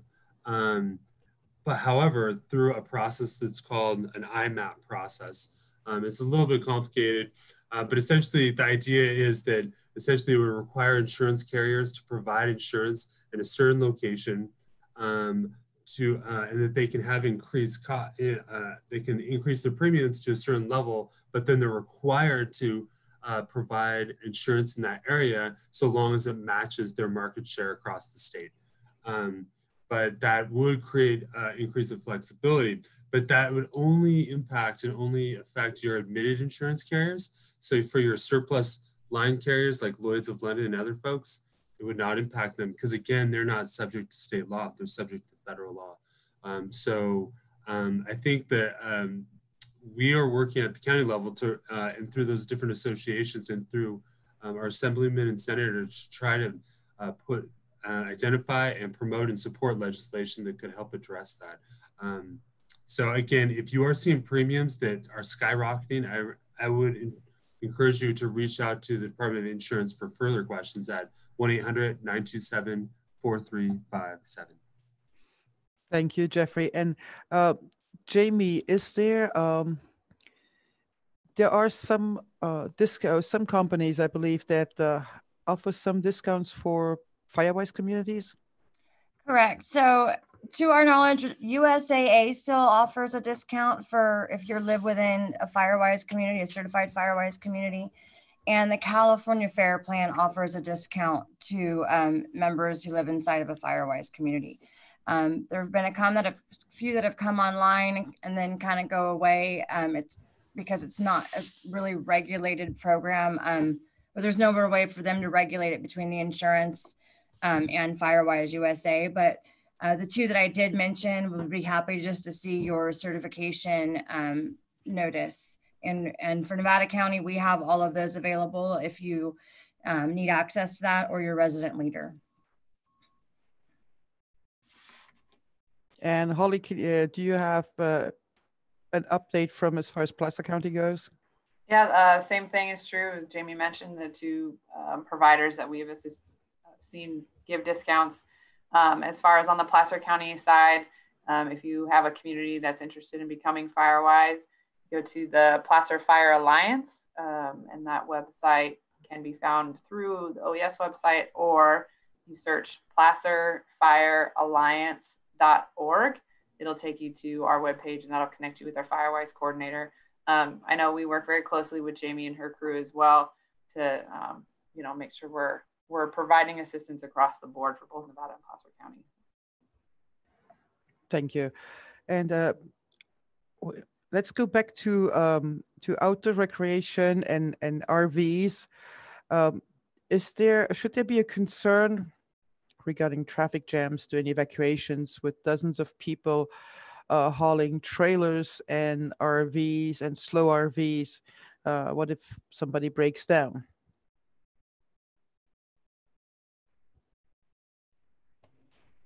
So uh, just to kind of touch on that real quickly, uh, obviously, you know, impacts to traffic are always a concern whenever we're doing evacuations. Uh, part of the Lake Tahoe Basin Plan, uh, whenever we get into evacuations, is actually to turn uh, either 267 or 89 into one-way roads. Um, so that'll help facilitate the traffic flow of getting people in or out of uh, the Tahoe Basin.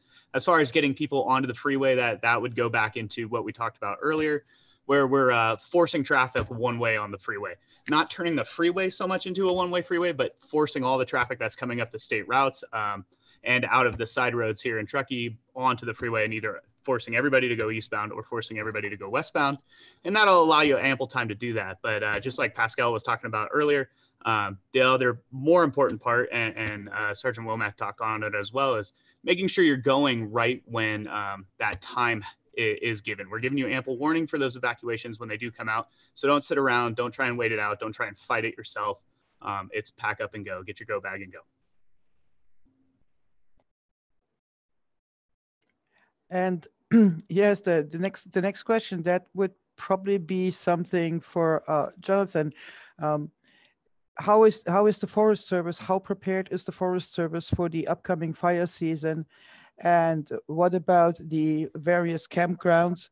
Uh, in case of an evacuation, can people, will you make all the campgrounds available for people to evacuate to them if needs be? Yeah, thanks for the question. And it's nice to join you all. Uh, let me start first with the, the Tahoe National Forest. So my name is Jonathan Cook Fisher. I'm the district ranger here out of Truckee um, which is part of the Tahoe National Forest. As a reminder, Tahoe National Forest is uh, from Nevada City to approximately the Nevada California border. It does not include lands within the Lake Tahoe Basin. Uh, the the Tahoe itself, um, we're we're very prepared as we've been in the past. The Tahoe has 11 engines, uh, three hand crews, uh, two water tenders. We have one medium helicopter at White Cloud, and then we have one contract heavy helicopter at the Truckee Airport. Uh, we also have 10 prevention units, uh, fire prevention units that do a lot of patrol work, um, and those are currently staffed as well. So one of the responses we've taken on early this year on the Tahoe is uh, we went into fire restrictions probably as early as we've ever been. And that was largely in response to what we see as the predictive services, the, the early drying, uh, but also an awareness over potential impacts on readiness due to COVID. Uh, and so currently campfires and charcoal fires are only allowed in our developed campgrounds. Now with, um, with the restrictions on camping uh, limited to stage three in the state, our developed camping is limited. Having said that, we are looking and currently prepping campgrounds in Nevada County and Sierra County in anticipation of opening a fairly large number of those uh, as soon as this weekend and and so that's that's going to help with a lot of what we've seen. One of the unintended consequences of the of the uh, the moratorium on camping has been an increased number of dispersed campers. And we did see a number of illegal fires abandoned campfires uh, and trash related issues in our dispersed environment as a result of that. So with with campgrounds opening up we do like this idea that we're going to get people back into a managed environment uh, where we can we can um, have a better eye on sort of the activities and, and the fire situation. As was mentioned earlier, we continue to implement a variety of veg management projects. So the Big Jack East is probably the largest. It's approximately 2,000 acres. Uh, the only one that I did not see previously in Bill's presentation was the North Alder project. North Alder is occurring on the north side of the town of Truckee and that's going to be approximately 1,500 acres. It's mostly mastication and thinning of some old plantations. As folks drive on 89, they, they notice uh, that the forest stand becomes very similar, and that uh, that's that plantations that we're currently actively managing. What's nice about the North Alder project on the north side of town is that it ties into, broadly speaking, some of where we did last fall or underburning. And so we we have uh, a number of projects now that ring around the communities that put us in a, a, better position than where we've been years ago.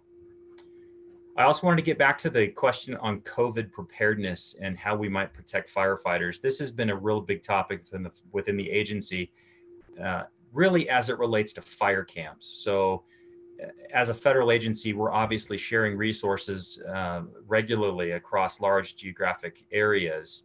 And how we manage crews within fire camps is something of particular interest to us. And then, what is the response after returning back from a fire camp?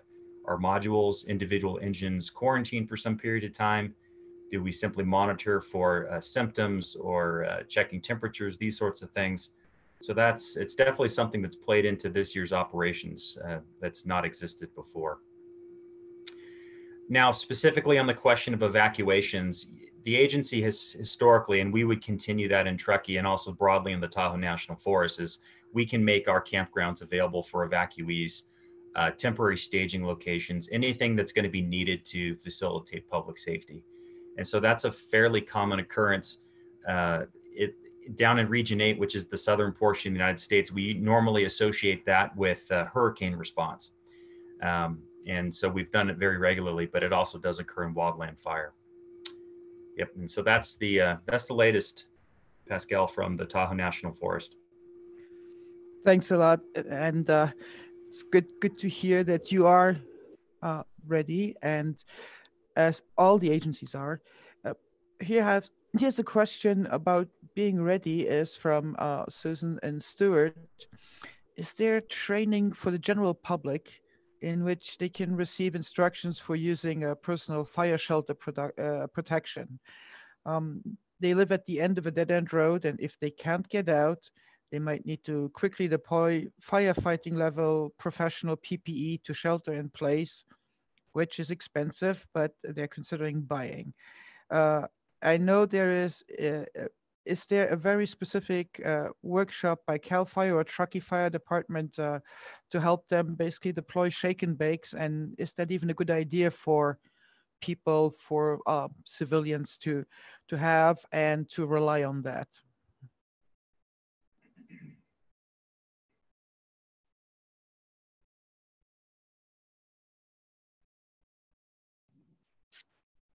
Hi, Pascal. Bill here. Um, it's uh, it's not a recommendation uh, that uh, uh we would ask the public to do. It's a complicated um, process. It's not as simple as just putting on a, a fire shelter. You know, firefighters have uh, lots of training and they wear lots of uh, other PPE. Um, it's a last ditch effort, and similar to firefighters, we would recommend that the public evacuate early, and that that's the answer um, not to think that they can shelter in place and, and um, uh, last through a, a, raging wildland fire. Um, and I know that's maybe not what they were looking for hearing, but uh, that's uh, that would be our sort of simple answer on that.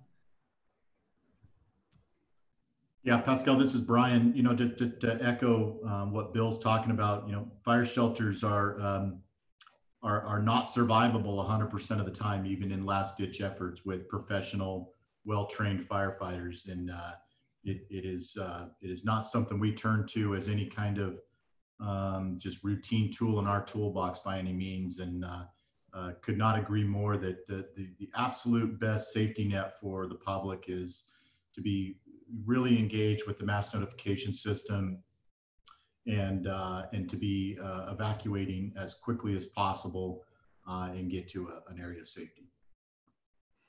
Uh, agreed. And uh, uh, and Suzanne said, uh, well, what if the fire comes really fast? If the fire comes really fast, um, the time be, uh, that they probably will spend uh, trying to correctly deploy um, a fire shelter. Um, it's it's not a good use of time, and thank you very much, both of you, for for the reality check because um, there is right unfortunately there is always a lot of um, uh, exploitation of people's uh, fears etc that uh, people say hey you know you can if you buy this you can you can watch the fire burn around you. And uh, i believe that it's uh, these days it's absolutely impossible to well first of all it's always irresponsible to say that kind of stuff but these days uh, that definitely that flatly falls into the category of uh, mm, false advertising. Yeah, and you know, another important thing, and I kind of reflect back to what Chris was talking about in regards to uh, the red flag warnings.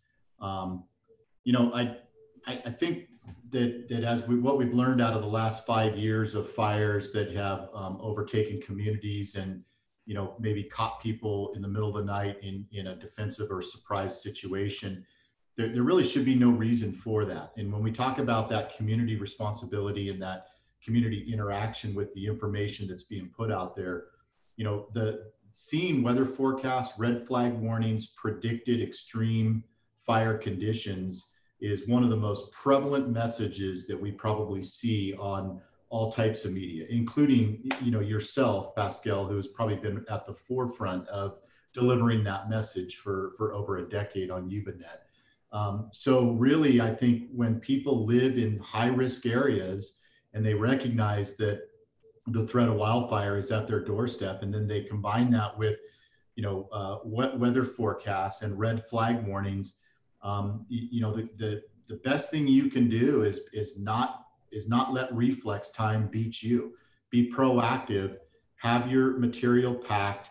Maybe even relocate yourself if it's that if you're that concerned about it so that you're not in a reactive mode but you're in a proactive mode the messaging and the information available to the public in california is is probably like nowhere else in the united states in regards to um, predicted uh, fire conditions or fire weather.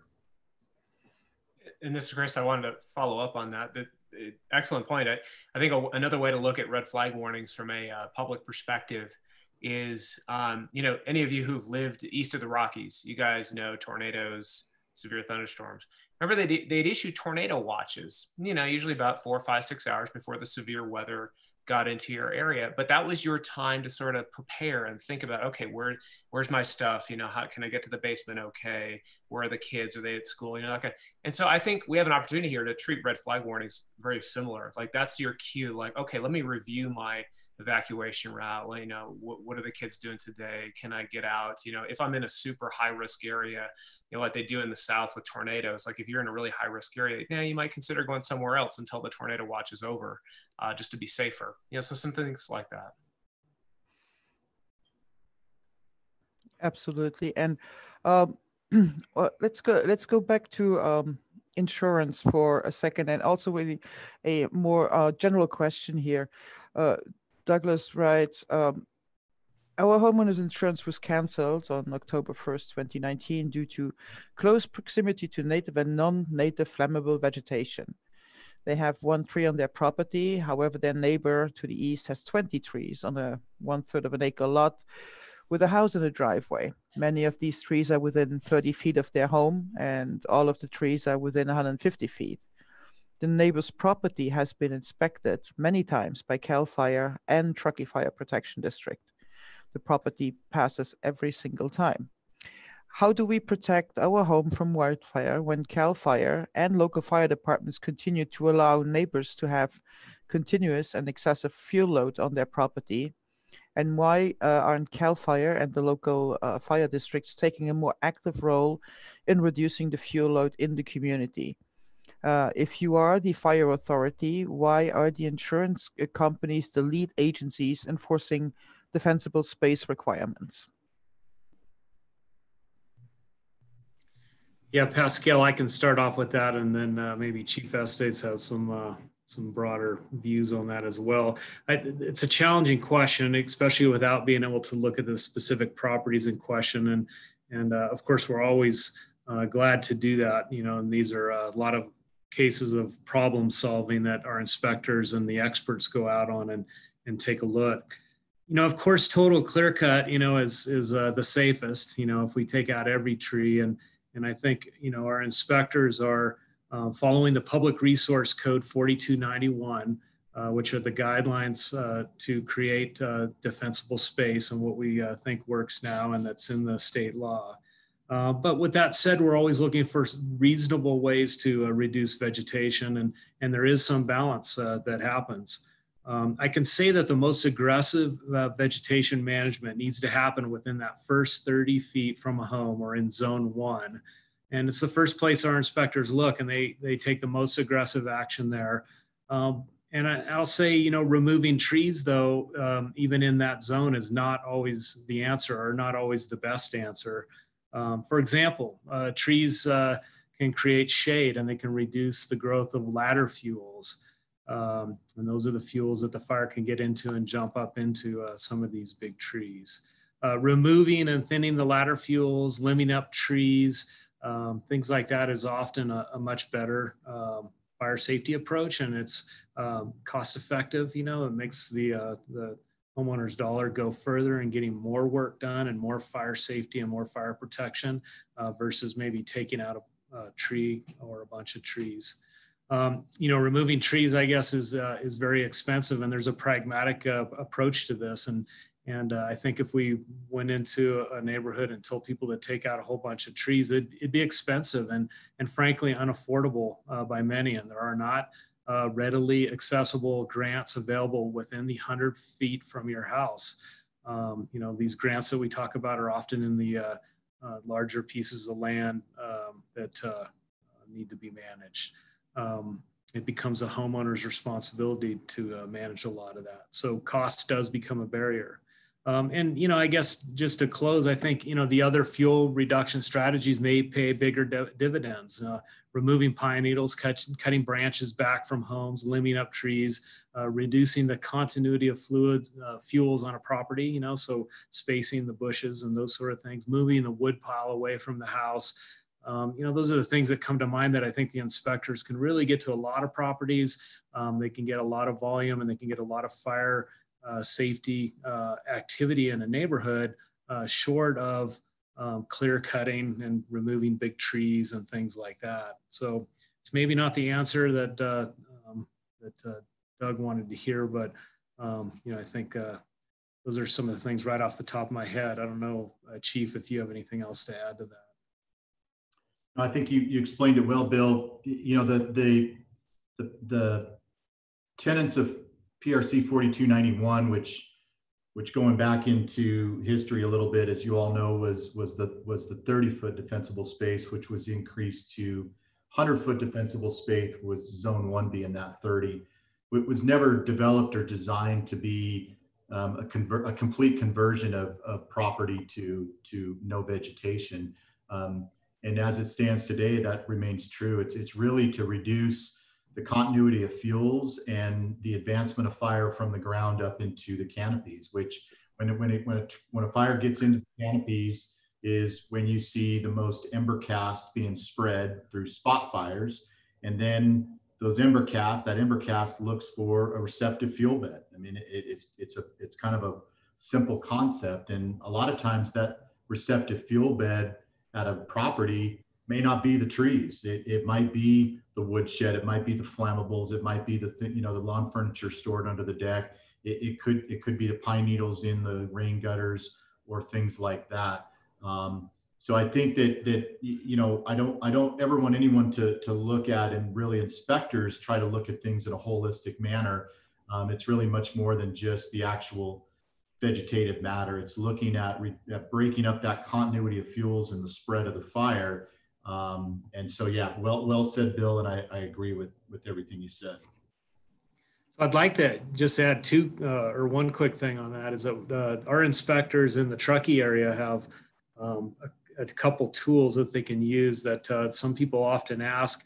Uh, you know, my property goes uh, 70 feet to the property line, and I have another 30 feet that goes into the neighbor's property. Can we do anything about that? And and under the uh, the more broader state uh, public resource code, uh, we don't we can't really address those neighbors' property. However, in uh, the town of Truckee or in the Truckee Fire District, excuse me, we have um, an ordinance uh, from 2012 that allows us to enforce defensible space requirements to the 4291 standards um, on somebody else's property if it impinges on your 100 feet. And I'll add that Nevada County also has similar uh, language and enforcement tool. So from time to time, when uh, people aren't taking any action uh, and their uh, unsafe uh, wildland and their property is affecting your 100 feet, we are able to enforce those and we do take action. And, and although it's rare in some cases, um, in the fire district, we have uh, actually uh, went in with tractors and done the work and put a lien on a person's property. And, and so we're not afraid to take action when we think that there's nothing being done or people uh, are not responding at all uh, to uh, the fire danger. And that that same uh, very similar ordinance was passed in Placer County um, about a month and a half ago, went into effect, um, and has the same same same parameters that Chief Seline just talked about regarding uh, unimproved parcels. You know, one of I think one of the specifics about PRC 4291 is it only deals with parcels with a habitable structure, um, which is limiting. And so, um, what these local ordinances do is um, allow um, allow it to be able to apply either, like Bill said, to apply that 100 feet across property lines, or in the case of the Placer County ordinance, to be able to apply it to unimproved parcels or parcels without a habitable structure.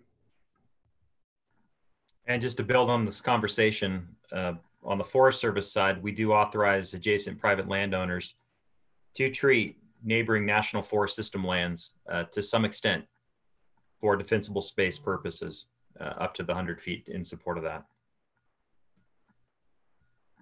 Thank you, thank you. That's that's very helpful, and I know that uh, there's also questions about about um, another federal agency, BLM, if they if they would if they are allowing the the same thing. But uh, we don't have a representative from BLM on the panel. My apologies for that. Uh, I'll try and find and find that question. And uh, Pasquale. Uh, yep. Pasquale. Real quick, I think there's also something really important to understand when it comes to these insurance letters. Quite often, they're sent out by companies broadly. It really doesn't matter what the homeowner does or does not do, or the neighbor does or does not do. Uh, they write the letters in such a way that they're going to cancel the insurance because they feel they're oversubscribed and it's going to cost their company too much money if something happens.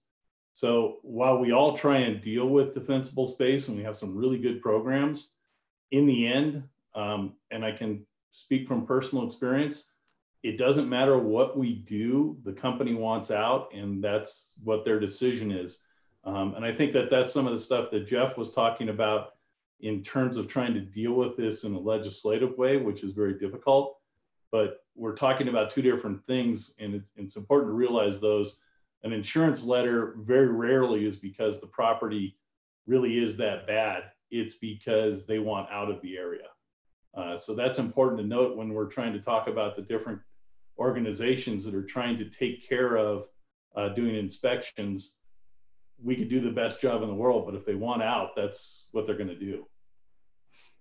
Yes, Bob. Th th thank you for for actually uh, for the reality check because I, I think that's that is more often than not it is uh, it is easy to say, oh hey, um, it's because you're defensible space, but it's really not. But uh, Jeffrey, can can you add a little bit on there, maybe?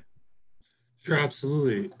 Um, I think uh, you know I think Bob's point was a really good one, and one of the things that um, as the last year and a half that we've been really kind of diving deep into this issue, one of the things that we learned is a lot of these insurance companies they're they really are looking at potentially enormous risk uh, when they're looking at their entire portfolio. But what becomes very frustrating for the homeowners and for a lot of us is that um, just what Bob said, they're not looking specifically at, at, potentially. I mean, they could be not, you know, it's case by case, but a lot of times they're not looking just at an individual property. They're looking at an entire region and they say, we want to cut down, either we want to pull out completely or we want to lower our risk portfolio by 60% in this area. So they'll just randomly start send out non-renewal notices, or they'll be looking at the region. So they may be looking at using satellite imagery and they say, oh, and it's very difficult obviously in our area because there's so much tree cover.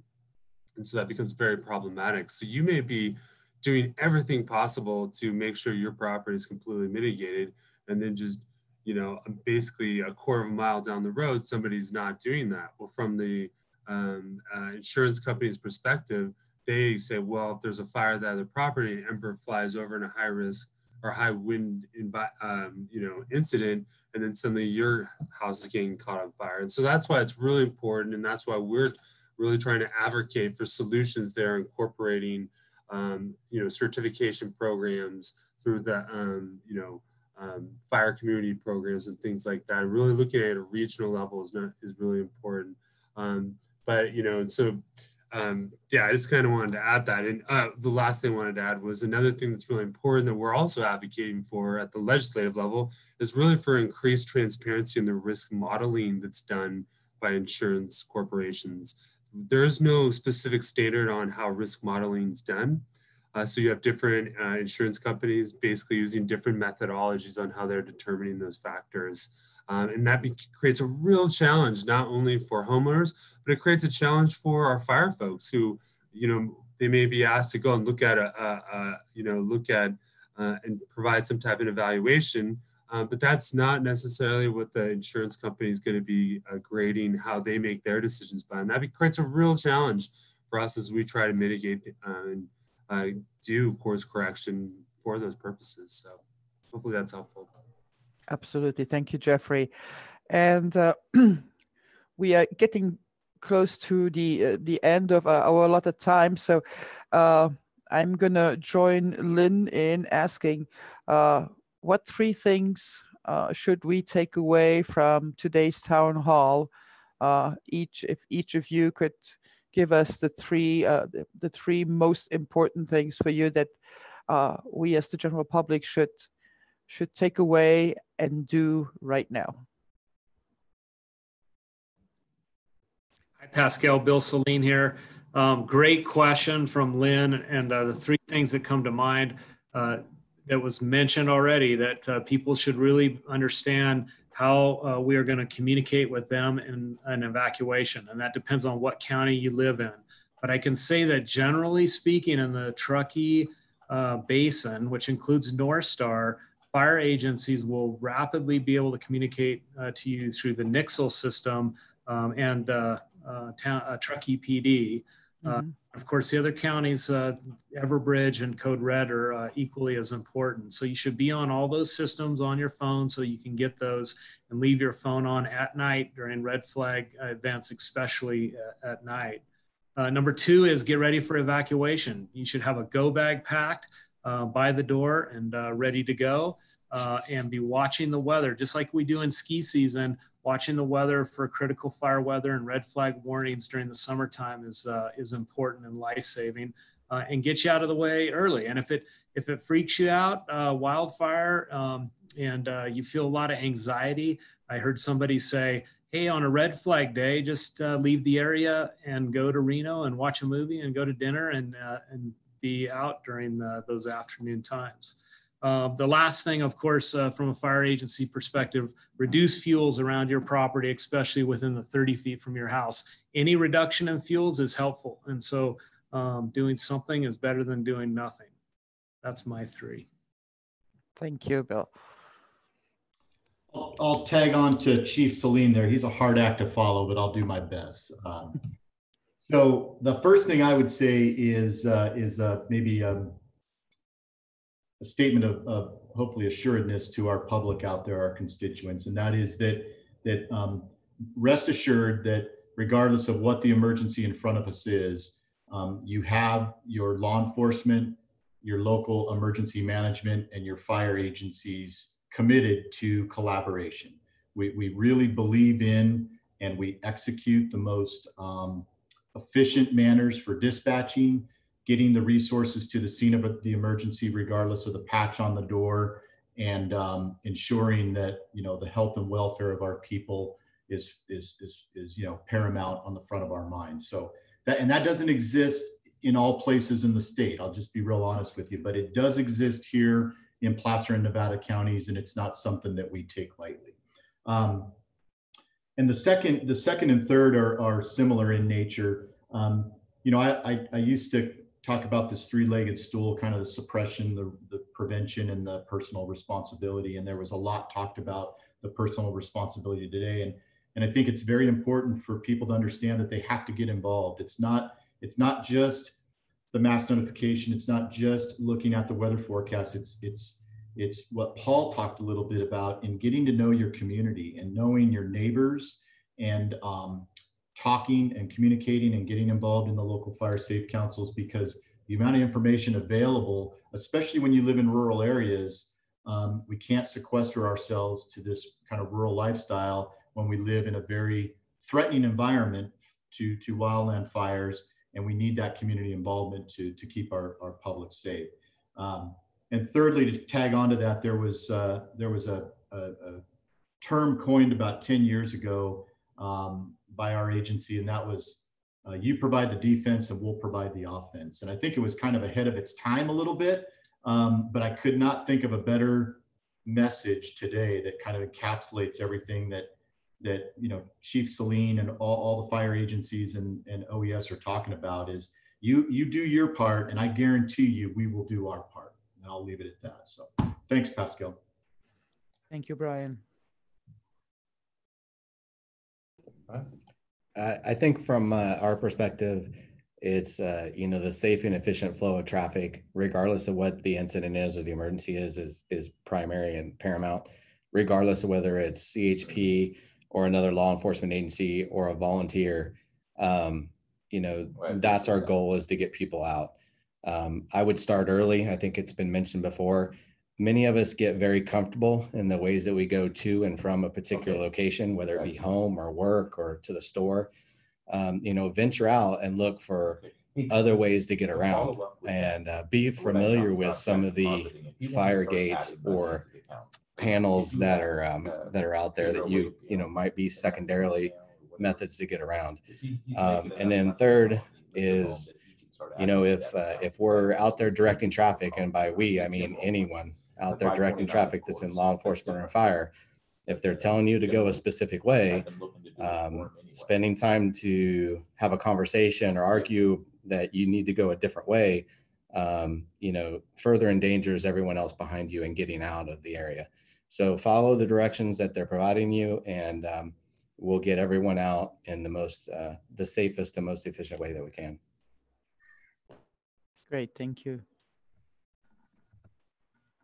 Yeah, I'd like to add that uh, really, if folks if if folks are seeing issues, please report those to us. We we know there's a lot of locations that are just regularly used as party spots or dispersed camping, just for uh, just for folks to gather and to do things that create a risk to the community. And we really need to hear about those. So don't feel like you need to live with that problem. Report it and let us help address it.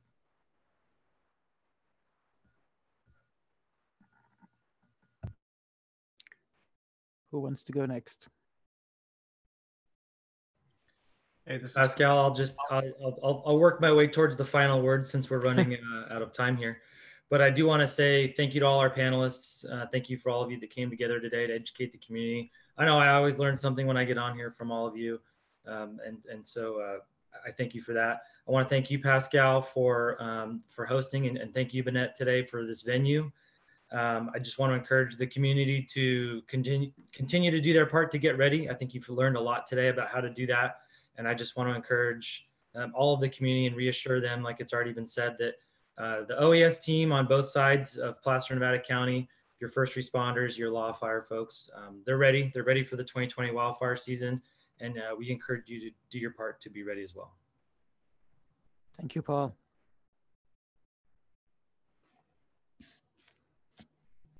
Who wants the final word? Hey, I'll, I'll, I'll take that opportunity. Why not? Okay. um, yeah, Crystal Weather Service. I don't have three things. I have one thing, really, uh, just from our perspective, because so much good stuff's already been said.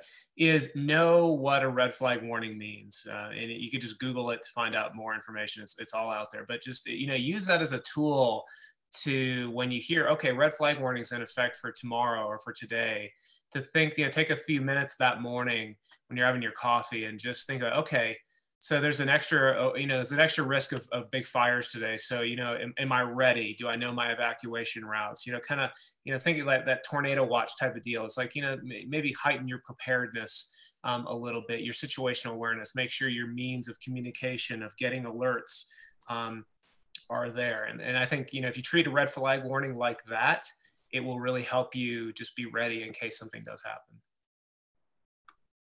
Excellent.